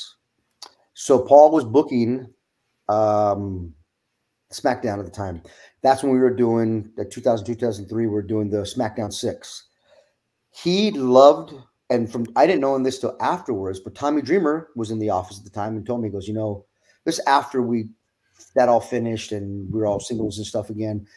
He goes, you know, Paul Heyman loved booking for you six because he could mix and match any combination of you guys, and you guys would have some of the highest ratings of the show, like no matter what. And I'm like, awesome. I go, they never told us any of that, you know, because I was negotiating negotiating contracts in there and stuff. I would have used all that, you know. Of course. I didn't tell you that so you don't, you know, you don't get the contract that you want to get, but you know, you always getting, you know, much better than working nine to five. But you know, uh, Yes, but you know that was a time when there was no there was no other alternative. It was they had WWE had eaten WCW already and ECW. There was no we had no stroke, no pool. So now today, when I talk to some of the guys and I hear what they're making, I'm like, first of all, I'm super crazy happy for you guys because that's what we should be making. I go, but I go, that's insane. I go, wow, that person is making this much money. That's three times, almost three times more than Eddie ever made and wow. Eddie being who he was and and being the championship run and all that stuff, I'm like, wow, that shows you how much money they were making back then because Eddie was, and I won't throw out numbers, but Eddie was making a certain, certain amount and as a champ and as whatever on his biggest year, and you have guys that aren't even in, you know, in this, not many people are in the same category as Eddie Guerrero, but aren't even can you know even in the same same sentence in the same paragraph, and they're making three times what he's making. So thank God they are. I'm super happy for him. Um, I just I'm you know kind of you wish you'd get a little piece of that pie. Next question. yeah. That's just being honest and stuff, not trying to be bitter because we did make great money. Uh, and I'm really glad to see these guys making great, great money. So I'm super happy for the guys now. Did you ever get a ooh chavo from the shadows while showering? And when you turn around, Michael Hayes comes out doing the moonwalk smiling. Did you ever see Michael Hayes staring at you in the shower? Because Paul London did. Really? Oh God, no, no, never, never. I always, I, my, my, dad had a, a, big rapport with, you know, knew Michael Hayes from back in the day, so right. you know, all that stuff. You know, I, I, I, I knew. So one time, Steve Keirn came up to me, and there was an agent talking to me, who named nameless Okay. And as he walked away, Steve Keirn looks at me and goes, Hey, you trust that guy?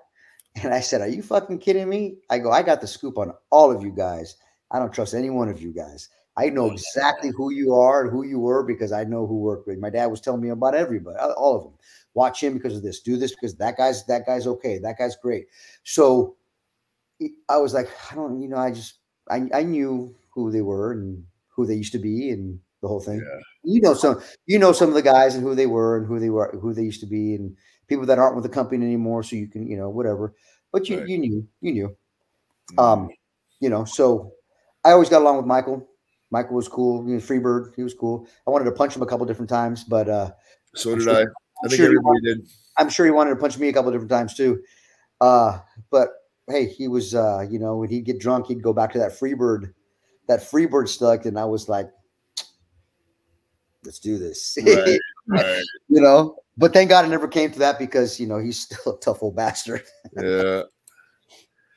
We got here Chavo Classic as cruiserweight champ. Man, I missed your dad. He was so fucking cool, man. You know, I just got the other day. I did a, a signing somewhere, and someone said, "Hey, man, I loved how your dad won the cruiserweight title to where, you know, it was a three way match: me, my dad versus me versus my dad versus Spike, Spike Dudley. So, of mm-hmm. course, right before the, the match, you know, they shove a vignette of me and my dad talking. Okay, we're going to double team Spike Dudley. We're going to be okay. Cool. No problem. I'm gonna, you're going to stay the champ. Okay, great. Awesome. Okay, great.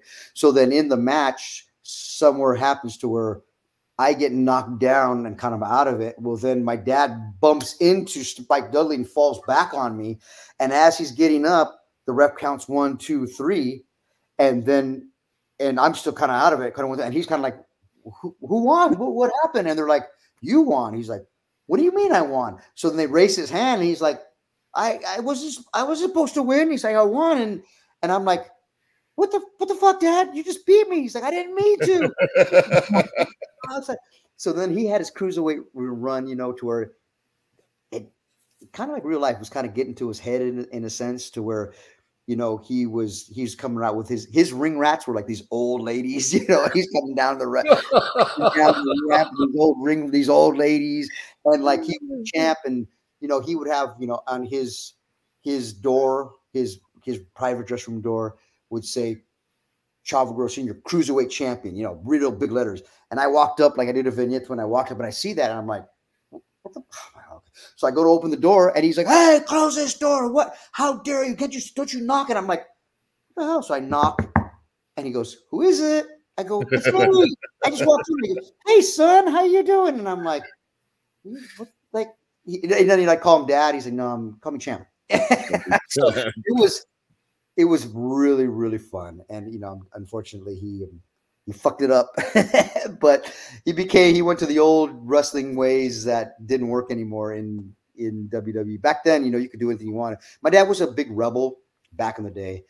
He went to Japan a lot with Brody and Hansen and all those guys. So they were always like, you know, fuck the promoters. This is what we do. We're we have the power well, at this point, the wrestlers don't have the power anymore. The promoters. So, you know, he went back to being his own way, old ways a little bit. And uh, Vince had to say, uh, that's not how we do things anymore, Chavo. But I think he got, I think he was fired maybe three times from WWE over the years. Really? Yeah, three different times. My dad loved Vince. Uh, my, my Vince loved my dad. Loved him because he was old school and he was like, like you know like fuck you like like that's my dad he loved my dad but he also hated my dad because he was old school right. You know, it was like a love hate relationship. That's my dad and vince loved the alpha males the guys that wouldn't take any shit the assholes. He loved that. But certain only certain people can do that you know? Right. yeah. Vince russo what's your thoughts? Thoughts on vince russo. So i get along with vince Russo. Um, I hadn't seen him in a long time, and he came to Lucha Underground one time when we were still filming that. And I'm like, "Hey Vince, what's up?" And he's like, "Oh, Chavo, are we good?" I'm like, "Yeah, why?" He's like, "Oh man, there's a lot of people from that era that you know, just you know, I didn't see him the whole time in WWE at all. So this is 13 years later, right?" And I'm like, uh, I'm like, yeah. He's like, man, there's a lot of people in that era, man. You know that just you know I don't get along with. And I said, bro, it was what it was. You're booking for your job. You're doing this. That was great. MIA, the Misfits in Action that we were in, I liked it because I wasn't doing anything at the time. This is after my run with Eddie. They Eddie left already. I wasn't doing crazy stuff anymore. I was just kind of a cruiserweight there. I was wasn't really doing anything. Then he puts us in a storyline, and we start having a storyline with Team Canada, and um, then we got uh, Booker came with us, GI Bro at the time, and and you know they're they're using us. So you know you can't always you know, if it was up to us, every one of us would want to be the champ. Every one of us would want to be Cena or or Roman Reigns or whatever. Every one of us want to be the champ and the guy. There's yeah. only one spot for that. So you kind of got to take what you know. Sometimes they what do they say? They give you you know chicken shit. You make chicken soup. Right. That's that's what it is, man. And you know, there's it just that's just how the business goes. That's how any business goes. But you know, you know, if you're working at McDonald's and they tell you to go clean up, you can either bitch about it or you can go clean up and make it sparkling clean. And they go, oh, this guy's freaking working hard. Okay, we're going to promote this guy. And that's how it should work in wrestling. It doesn't always work like that. But, you know, that's you take what they give you and you kind of make it work. There you go, man. So no hard feelings, Vince, Vince Russo. I do like Vince. Bobby For all the young wrestlers listening, listen to Chavo. He's been around. He knows what he's saying. A lot of wrestlers listen to this, Chavo. Oh, good, good. I hope so. I hope so, man. I got a lot of young wrestler uh, um, advice. Don't do the stuff that I did a lot of times, but you know, some stuff like that. You know, uh, any Bobby Lashley or Shelton Benjamin stories? So, yeah. absolutely, Bobby Lashley, tough guy, very good worker, freak of nature, good friend of mine. I really like Bobby. Uh, I remember wrestling him in the ring a couple times, and he was just so strong. So one time we're, we're back at, and he was young, he was green in the business, you know. Um, we come back, we were the the match after intermission, so popcorn match, right? Everybody's still at popcorn. They're still at, they're still getting um, you know, yeah. So so they announce as we come in the ring and we're circling. He's getting ready to block. I'm like, whoa, no, no, no, no. God, we got to wait three or four minutes. And let me do my stuff. He's like, why? I said, people aren't in the seats yet, man. They're coming back from the sessions. They're still in the bathroom. And he was like, what? You, you guys, you guys think of everything. I'm like, bro, we we just had some really good teachers. I said, wait, I'll tell you when. Okay. Okay, now. And he was like, whoa, shit. I go, hey, man, I'm selfish. If I'm in the ring and I'm wrestling, I want everybody to watch me. I want all eyes on me. So if I'm in the ring doing something and my tag partner is doing something down there and, and diverting from from anything I'm doing, I will stop anything I'm doing. I'll wait for him to be done. Like, are you done? Okay, now back to my time. I'm in the one in the ring. They should be watching me. Same thing as I'm on the corner. I should be enhancing the people to watch him more, not taking away from that. So um teaching that to, to, Bobby. And then also another one that he doesn't like me telling, but I'm going to tell it because it's one of my claim to frames. we were uh, uh, there was a time that we were all we would all kind of shoot in the ring before the show and kind of do like a bunch of takedowns and that kind of stuff, you know, and see who the better wrestler was and stuff. And well, Bobby's, you know, freaking, uh, you know, all American wrestler, or you know, uh, all, all American. He was in the army, wrestled for the army. He was just whatever he was, national. I don't know what he, he's got some accolades. He's really good wrestler and super strong. So he grabs me out the side of my waist. And as he grabs me, man, I whizzer down on him hard. I'm whizzing down, whizzing, like thinking, okay, this usually works. He literally picked me up with one arm like this, shoo, and just held me there for a second. I was like, oh, you son of a bitch. So he puts me back down. I'm like, okay, okay, you prove your point. So then we start messing around a little bit. We're kind of going. He's trying to get me. I'm you know, I'm pretty quick, so I'm kind of def- doing some defensive stuff, but I, I can't get him. He's just too good. So then he goes around the waist again, and I whizzer down again. So I feel it coming up again. And as he goes, all I did was, as I'm whizzering down, all I did was grab grab my wrist. So it's got key lock. Grab my wrist and push on and uh, on his chest, and so I have his arm around my shoulder. So I'm, I'm hooking it here, key lock here, and I arch, and he goes ass over key tail. He goes head over heels. Boom. And as he goes head over heels, everybody saw too. But goes, oh, and his shoes fell off. His shoes flew off. So I don't know if he didn't have them tied or I don't know what, but both of his shoes fell off. This is the truth. They fell off, and everyone goes, "Oh my god, you travel just suplexed him out of his shoes!" Oh, and the only reason I suplexed him is because he was trying to lift me up, something he would never do in a, in a match. He's right. and as he's lifting, he goes, and it was just perfect timing. And I rolled out of the ring, and I'm like, "That's it. I will never wrestle you again." Because the last time I wrestled you, your I suplexed you out of your shoes. And he was like so pissed. Fuck you, Chavo. Get back in here. Get back. I was like, hell, fucking no. I will never wrestle you ever again. There you go. I suplexed Bobby Lashley out of his shoes. That's awesome, man. That's, but, awesome but that was I mean, again was just because you know, because it uh, he he was doing something that wasn't normally wrestling done.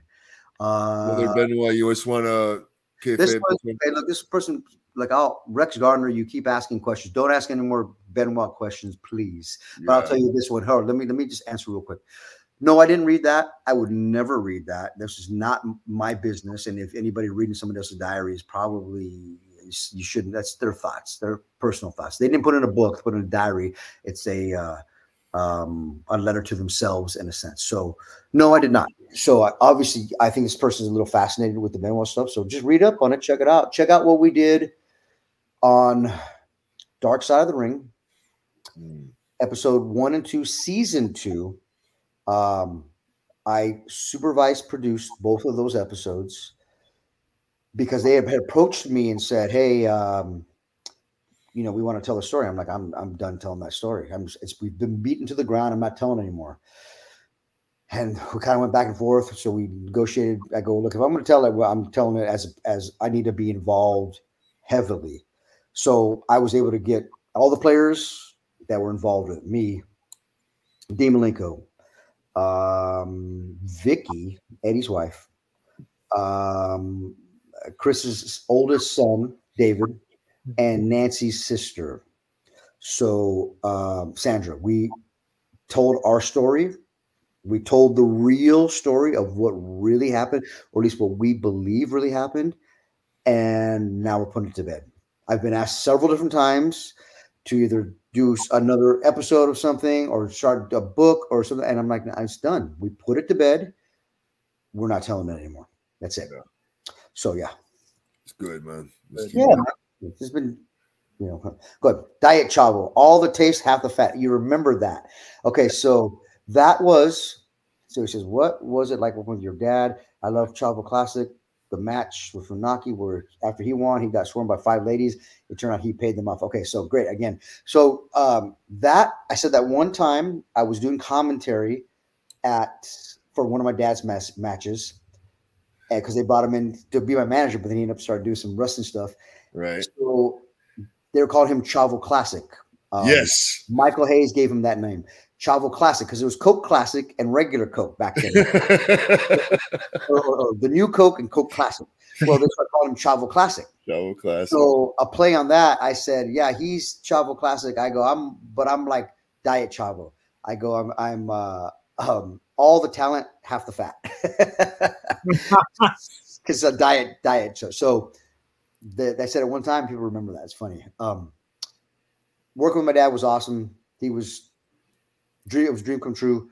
It was tough because my dad was my dad. As you know, your dad's your dad. It's a very they're set in their ways a lot of times. Yeah. But he was um he was awesome to work with and it was total dream come true. And like I said, in going back to his ring rats, you know, all the the, the these old ladies came home, came down, and it was it was really cool, man. He we were having a lot of fun with it, you know, and even the, the people in the office would comment to me all the time, man, we, we love watching what you guys are doing every week. It's it's really yeah. cool. So that was a fun time. I wish that would have lasted and uh, we would have played that out more. It would have been great.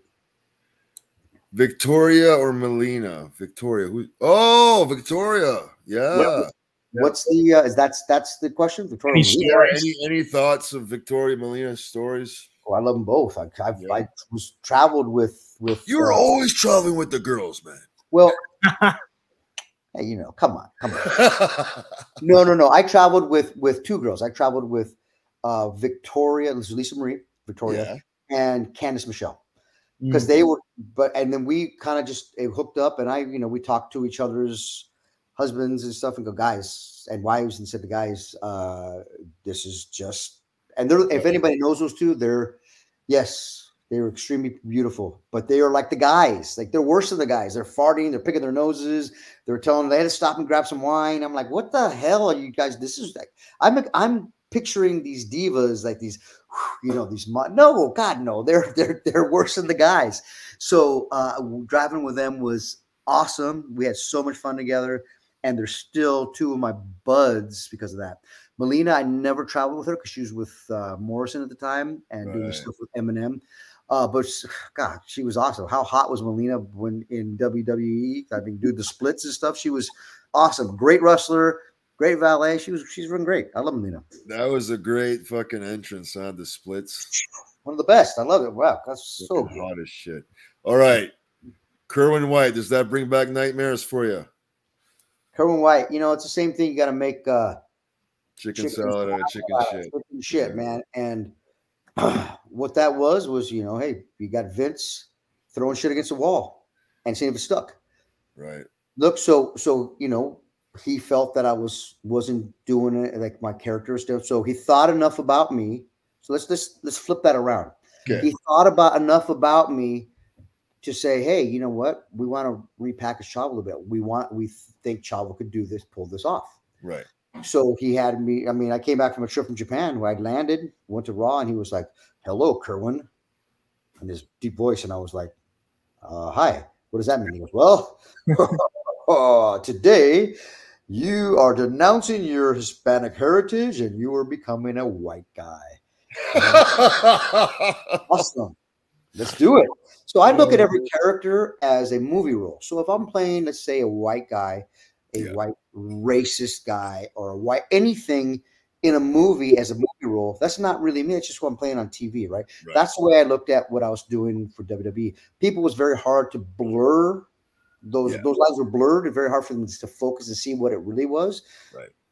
Okay, I'm a Guerrero, Hispanic, saying Viva la Raza.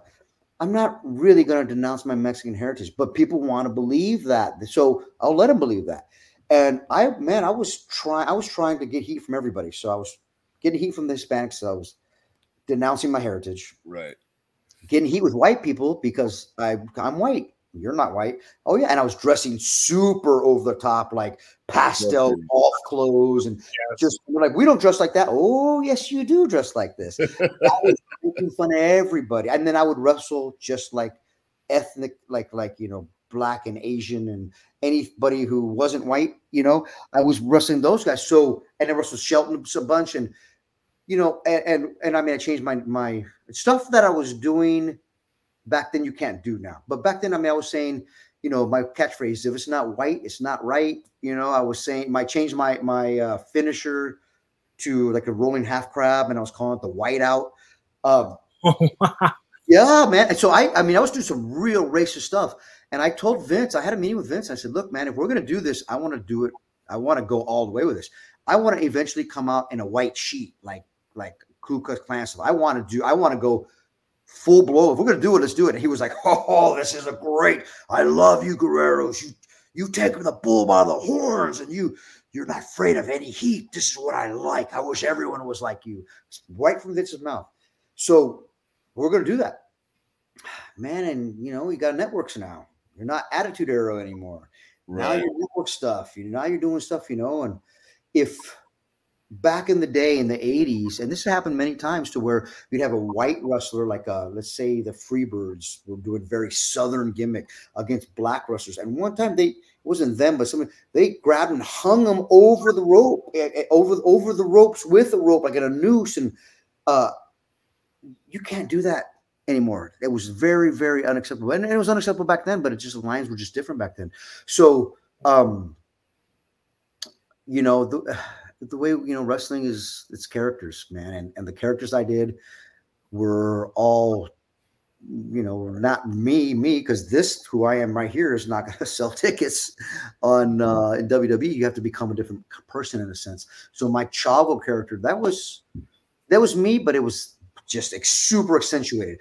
Eddie didn't walk around going, "Hey, Vato, what's going on?" Hey, that wasn't Eddie that was Eddie's character, and Eddie could do that. But Eddie was very humble. You know, Eddie was very humble guy and one of the nicest guys around. A big Christian and always reading Bible to you. And really, man, he was just really gave a shit about you. Was really a great guy. He wasn't that character that he was in TV. So, you know, it'd be like us saying, "Well, what about?" Edward James Olmos playing, you know, American Me, that show, and he was a big gang leader of the Mexican mafia. It was a role. That's not him. So that's the way we look at it as well in in in wrestling. It's just a rule and embrace those rules because, like uh, to all the new wrestlers out there, the young wrestlers, yeah, it's still called wrestling, so you have to learn how to wrestle. But Triple H, and this is from Triple H mouth, he's not looking for the next great wrestler. He's looking for the next great entertainer. Hmm. That's what we do in the ring. We entertain, we tell stories, and we use wrestling to do that that's what we do now.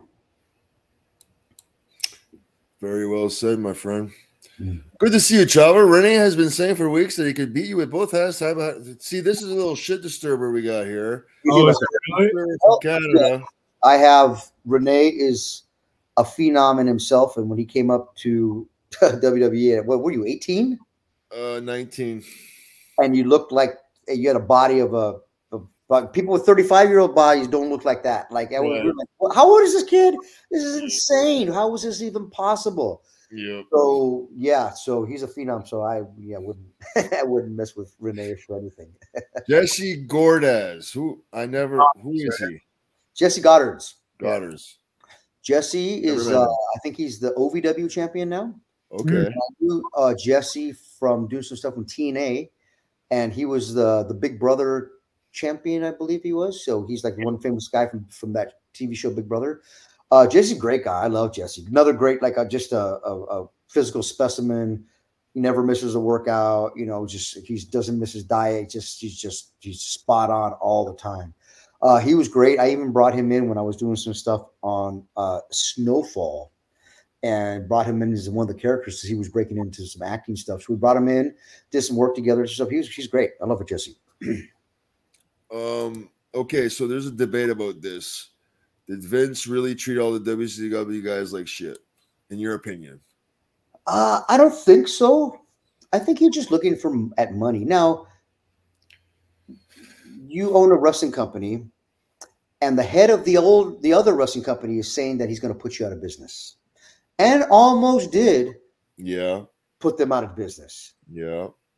And now you own that other wrestling company, and that ex boss works for you now, and all of these wrestlers work for you.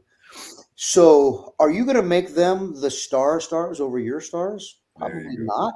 But you're probably, you know, let's say, let's make money. Uh, Vince's favorite money, favorite color is green. Yeah. So who can we make? Let's weed out these people. And if you recall, only like nine out of the 200 plus contracts that were in WCW, I think only 19 of us got brought over. I'm not sure if that's the correct number, but very, very few people. Very few. I was one of them. And in fact, to my own horn, I was the very last one under the original con that they first brought over that came that was left in WWE when I when I left. I was the very last one. Now, like Booker had left but come back, stuff like that. Mysterio never came over on the on the first initial contract pickup. So there was some asterisks in there, but I was the very last one, the original one that stayed there the entire time. so Vince McMahon, he's gonna who can I draw money with? He doesn't really know these guys. He's not really watching that product. He's worried about his own stuff. So he's like, okay, so let's how can I who can I sprinkle in? Who can I start using guys? And little by little, guys started rising to the top. You know, um, Booker T, for instance, Booker T, right away, man, he was, you know, he was a man. Booker T's he's he he proved how good he was, and he got even better. Uh, you know, in you know WWE, WWF. Uh, so did he treat us like shit? I can't say that. Um, we just had to earn our spot again. It's what it was. You had to work your ass off. And the stuff, and Eddie told me one time, all the stuff that you've done in WCW, you have to start fresh here because there's not a lot of crossover fans. You have some that are going to know you. There's a lot of them that have never seen you before. So you're starting fresh, which is good and bad. So uh, I just think Vince did what he had to do to, to make some money. That's it. Chavo podcast. Not ass kissing Vince's kissing Vince's ass. I'm just telling you like it is. I think that's Yeah, that's yeah, how he's, a, he's a businessman and his favorite color is green. You're right. And that's what- when I do a seminars and I tell young wrestlers and I say, "You want to make it to WWE? I know how to do it. How? Figure out a way to to make Vince money." I, I keep saying Vince because Vince is still part of it. I don't know if it's who's owns that anymore or whatever, but you know, you figure out how to make him money, you're going to make money. It's like we're going to any other job. You go to Starbucks, you go to McDonald's, you go to a restaurant. They're not in the charity business, they're in the money making business. So when they hire you, you got to be an asset to the company and be able to make them money so they keep you. And you can, and by doing that, you continually make money. Um, Rusty's no difference. He's not in charity business, he's not giving you a contract just because he's a nice guy. He's giving you a contract because he, he needs to make at least 10 times what you're making, make that back Yeah. at least. So, and even if you're only making 10 times, you may not be making enough. Maybe may not be worth it. So that's that's what wrestling is. Wrestling is a business. It's not it's not a sport. Any but any sport is a business. Any any pro sport. Once you start making one dollar on a pro sport, it is no longer a sport. It is now a business. Look at the UFC. Uh, Conor McGregor. Conor McGregor. We know that he's not the best fighter anymore. Was he great? Yeah, he's awesome. He's, we know he's not the best fighter anymore, but he draws the most money. He's going to come back and get a title shot.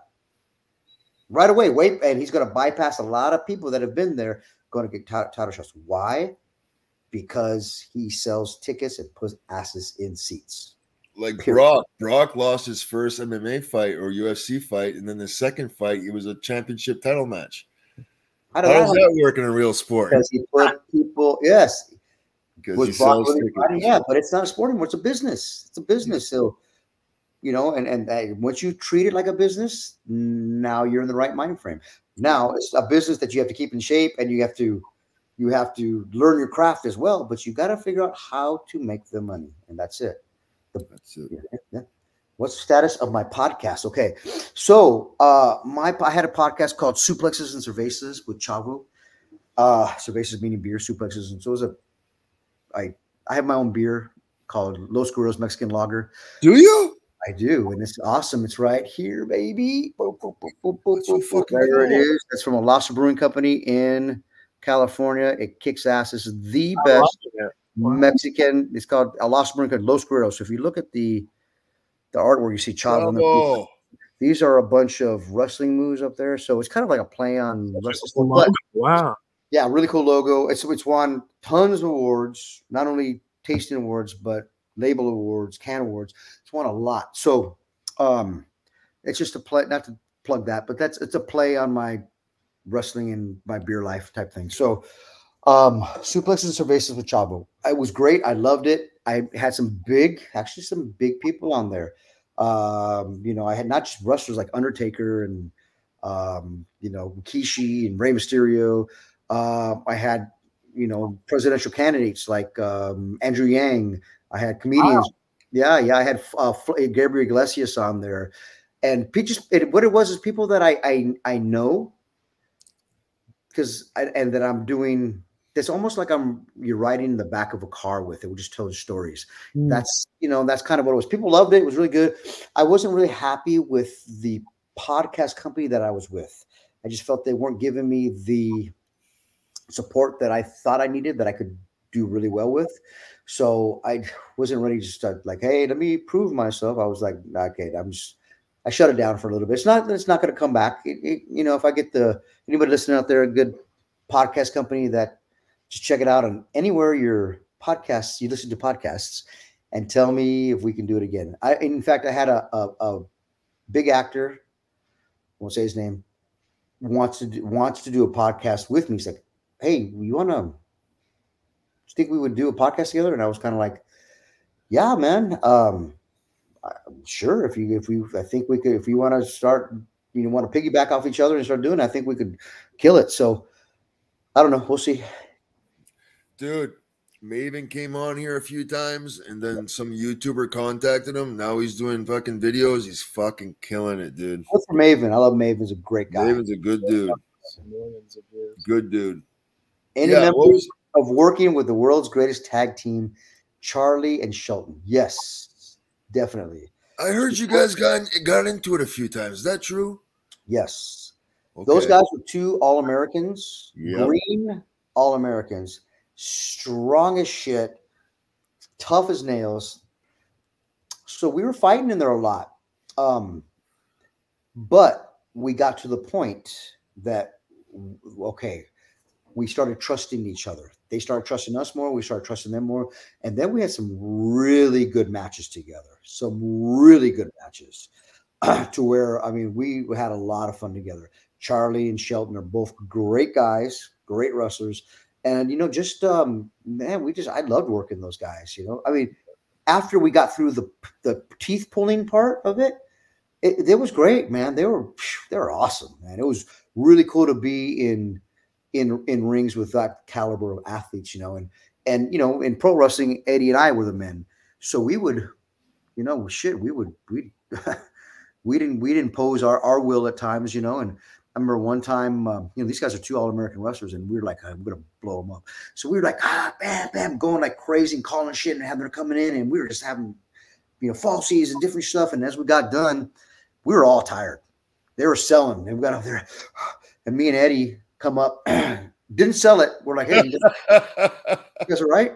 And they're like, yeah, wow, what a match. I'm like, what's going on? Why are you guys breathing so hard? I thought you all Americans. fucking pussies, man. And we kind of walked by and they're like, fuck you, man.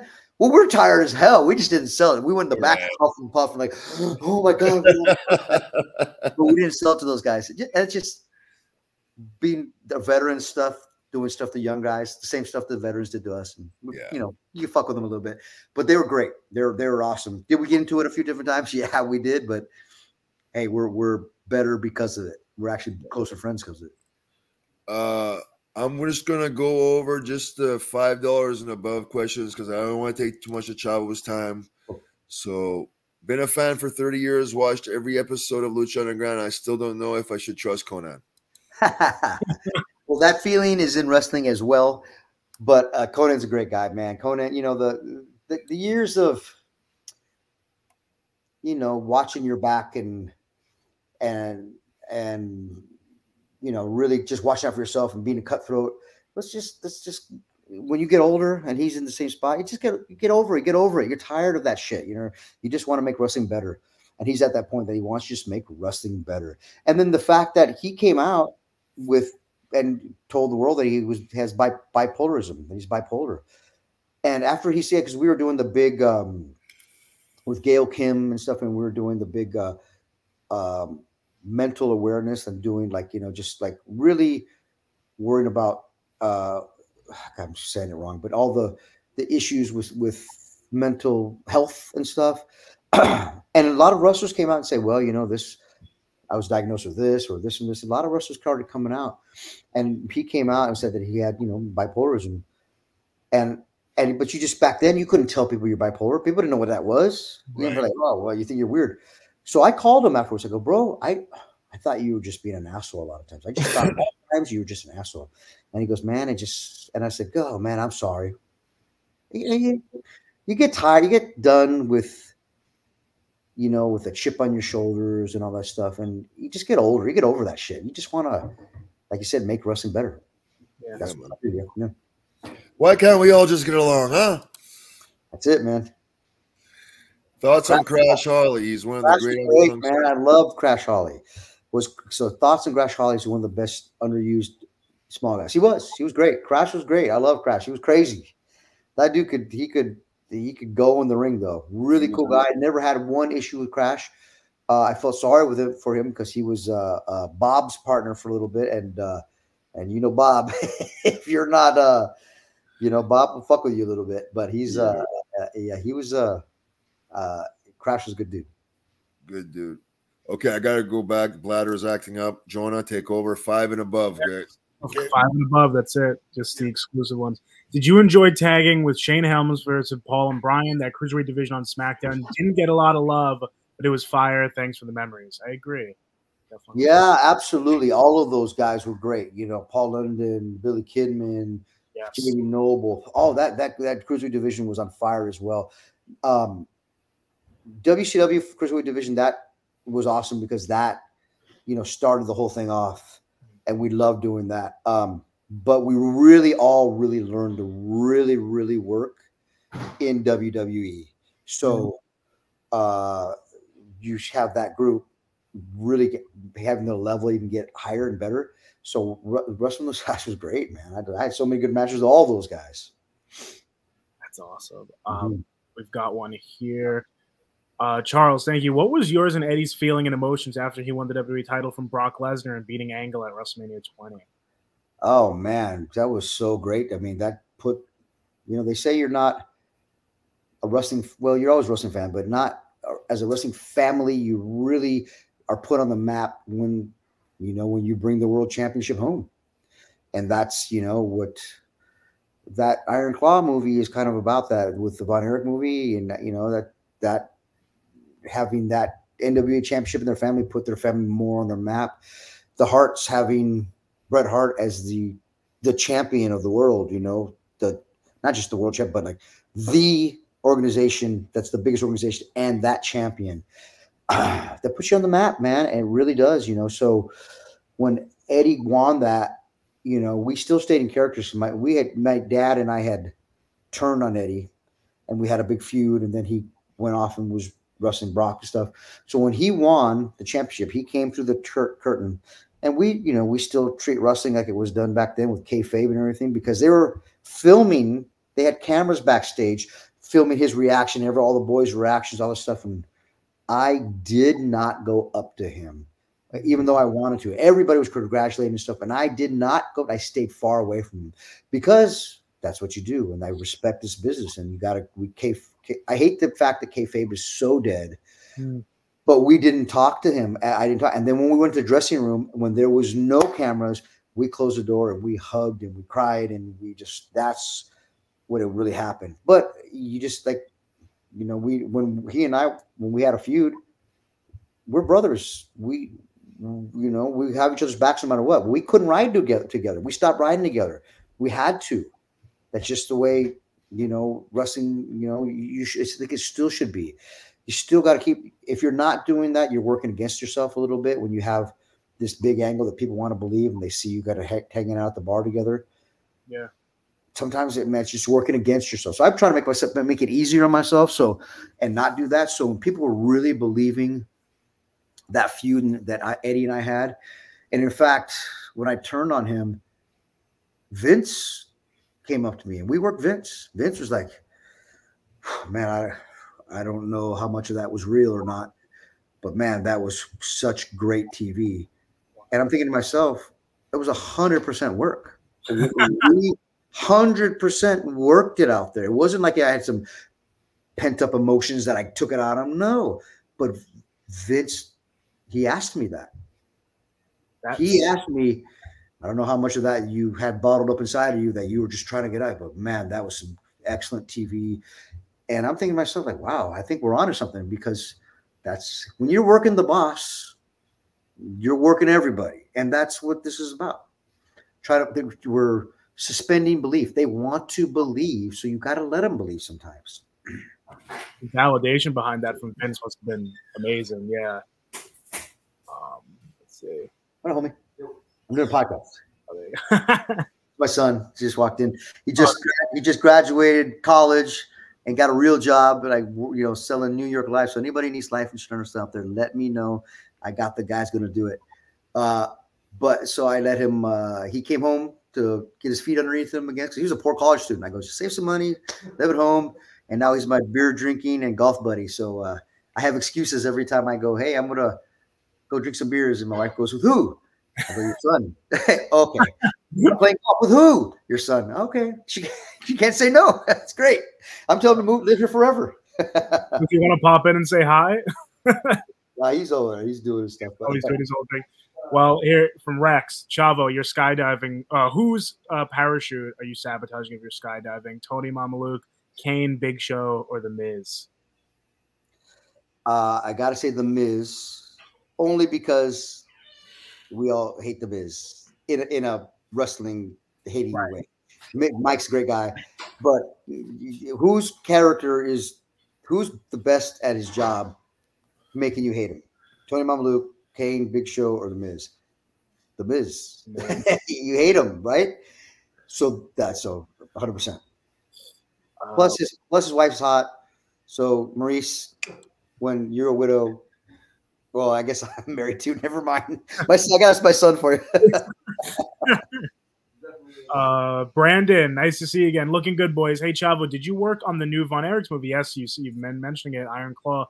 If so, any stories you can tell? I know NDA can be tricky. So yes, I was the wrestling coordinator, wrestling consultant on that film, uh, responsible for any all wrestling, everything wrestling, dialogue, outfits, everything. I mean, it wasn't making the outfits, but I was approving outfits and stuff like that. So, uh, along with the director Sean Durkin, all those people. So, uh, yes, I worked hand in hand with the director to make that movie. Uh, was can't wait for it to come out. I can't really tell any stories except for. Uh, I will tell this. I was filming Young Rock at the same time. So oh. Young Rock was filming in Memphis and um, Iron Claw was filming in Baton Rouge. So they're about seven hours apart from each other by, by car. Well, in my contract, I have first class flights. I couldn't take any flights because I would get offset from one thing, from let's say Young Rock, and I would okay, so tomorrow I'm not, I'm off. I'm doing things. So I would drive to Memphis, to Baton Rouge, and then film there or train there, and then get done with that and drive right back. So I was back and forth doing that. So um, it was really hard. I was a lot of tired, sleepless nights. I'm so glad I did it, just because I just I think that movie's. I really believe in that movie. I think it's gonna, I think it's gonna kill it. Zac Efron, Jeremy Allen White, Harris Dickinson, they Holt McCall- McCallaghan. Gosh, they did. They were so good. I think there's going to be some Oscar in there somewhere because they're Wow. all really, really, really great. I'm so happy to see Zach do it because he gets that um that pretty boy image a lot because he's got a chiseled body and good looking guy. But what happens a lot of times when you have that, you know, people start overlooking you in Hollywood as, as being a serious actor. So take like a, a Brad Pitt. It took a long time for him to be, you know, to win an Oscar and to be considered in that race. Um, Matthew McConaughey had to lose all of that, go from that body that he was the ab guy, lose all that weight, and he, I mean, had to. They did Dyer's Dallas Buyers Club, and won the Oscar. I mean, he malnutritioned himself. Look at what Christian Bale does, you know, for that role. So it was really cool to see, you know, Zach. He, I hope he gets that recognition because he was did a phenomenal job acting. He's so good, but he put all of this weight on for that. He's not. He doesn't walk around like that. Right. He's always in great shape. Don't get me wrong, because that's just his lifestyle. But man, this guy never missed. I mean, in between wrestling practices, he'd go down and, and eat his quick little meal and drink a shake and stuff. You know, so he just never stopped. I mean, he just I saw him transform bigger and bigger and bigger, tighter stuff. Man, he was like ready, stage ready. So anybody who kno- who who does that, you just you you you know, Rene, you know how hard that is, how hard to keep that is. You know. Yeah. So uh, I'm I really hope that he gets that recognition he deserves. He's awesome and a great guy. Uh, Rex here wants to apologize for All good, Uh, all good, all good, all good. Rex, don't worry about it. Someone was said before I could say, "Hey, don't worry about it, Rex. It's all good." Thanks for your five pounds, five bucks. Mucho respeto por la guerreros. Thank you, Mrs. What's her name? Miss Miss. Miss Disha, she's an awesome, awesome uh, member of our community here. Gracias, gracias. Thank you for support. Thank you. For Man, can you? One thing I want to ask: Can you speak fluent Spanish? Yeah, I'm pretty good in it. I'm not like to the fence, like to the point to where I'm doing. I'm not doing interviews in Mexico Right. TV, but yeah, I can I can get around with anybody. I really need. I need to go back to go to Mexico for three months, and I'll be complete totally You'll be fluent. boom right back at it. Yeah, yeah. So it's one of those like you know, I I really they like my whole family was fluent. My mom fluent as well, Yeah. but we we spoke English at the house. Right. I always grew up around it with my grandmother because my grandmother still, well, before she passed, Yeah. was still broken English. You know, though she lived here for for you know, fifty years, but um, uh, you know, so I was always around Spanish, so I can understand it one hundred percent and speak it probably seventy five percent. Seventy-five percent. Yeah, yeah. So I can get I can get around anywhere. Just any anytime I start speaking Spanish, my friends are always like, oh, "I always forget you can speak Spanish." Yeah, I'm all right. Dude, it's like when I uh, moved to the states, man. I was there for like six years, and I came back home to Canada. I forgot French. Right. Like, what the fuck? I had this. or, or then all of a sudden you're using you're using American slang or something. They're like, "What are you? Who are you?" Like Right. Drew McIntyre. When Drew McIntyre goes back to Scotland and he starts calling instead of a petrol station, he's calling you know a gas station. They're like, "What are you? You've been in America way too long." You know, Way too like long. terms. Yeah. All right, let's last one, buddy. Send all my two dollar one story behind Kane beating you for the ECW title. Story behind your 06 title feud with Benoit. Why did AEW run not work out? All right. We'll, well for four ninety nine, we'll, we'll ask. We'll get one of those. Story behind Kane beating me for the ECW championship at WrestleMania. So Kane and I were working each other and had great chemistry. We were killing it. Then when WrestleMania matches come out, you know, there's only a certain amount of time, and you got to, you know, it wasn't two a two day show back then. It was a one day show. So you have two and a half hours, two hours and forty five minutes of Russell time to Yeah. get in all of these matches and all of these storylines Yeah. plus have your celebrity guests in there and your your you know the your your music guest play and stuff. So there's really a certain amount. So they can only put a certain amount of matches in there. So Yeah. if you made it at WrestleMania. That's why they always have like a 20 man battle royal. So everybody would at least try to get on it. Yeah. Um, yeah, you know, they, if you made a WrestleMania match, it's pretty big. That's pretty good. It's, pretty, It's very big deal. Big deal. So it's not like a regular pay per view. It's WrestleMania. Um, so when we the when they start talking about it, we're the ECW champ, champ ECW run. You know, you have the heavyweight championship, you have the WWE championship, you got the Intercontinental Championship, you got the women's championship that you have to have out there now. You've got to be PC Yeah. and, and not taking anything about from the women because they're having some of the best matches on the shows now. Like They are. Charlotte, fucking Charlotte just destroys it. I mean, every it's so good. Uh, Rhea, Rhea, oh my god, they're so good. Anyways, not to go too much into that, but you have these others, ma- and then you have the regular. You got let's say Triple H is doesn't have a title, but he's got it. He's going to have a match there too. He's one of the big guys. Undertaker may not be going, but he's got the streak, so that's another match. There's there's so many matches they got to get on. So when they came to the the, the ECW uh, to the WrestleMania card, like the pre card, before the before we it was set in stone, me and Kane were left off it. So we went to Vince. Said Vince, we just feel like if we're left off of this, then this title means nothing and stuff. And we kind of pleaded our case, and you have to do that sometimes. Hmm. And Vince was like, "I agree. I absolutely agree. Okay, great. So now we're on the show. We're back on. We got like eight minutes. Okay, great. Eight minutes, no problem. We'll, we'll, we'll knock that out." day before the show, we're we're still we're still holding it true, you know. And you know, Rene, they constantly start changing times. They're shuffling times around. Well, now we got to budget this. Oh, this person signed last minute. This celebrity, okay, so we got to. That's a three minutes. We got to start cutting times. so time starts getting shuffled around. They rarely add time to you on WrestleMania. It doesn't happen. They take time away for certain things. And just that's just what it goes, you know. Now people then now and then uh, let's say a match goes long, goes two Yeah. minutes long. Well, now they got to cut the time. Yeah. so we weren't on it. Then we were on it with eight minutes, and then when we got there, we, we had like two minutes. What? He's like, "Man, I'm sorry, guys. Well, you know, whatever. I promise you guys would be on, though." He was holding his promise, so Yeah.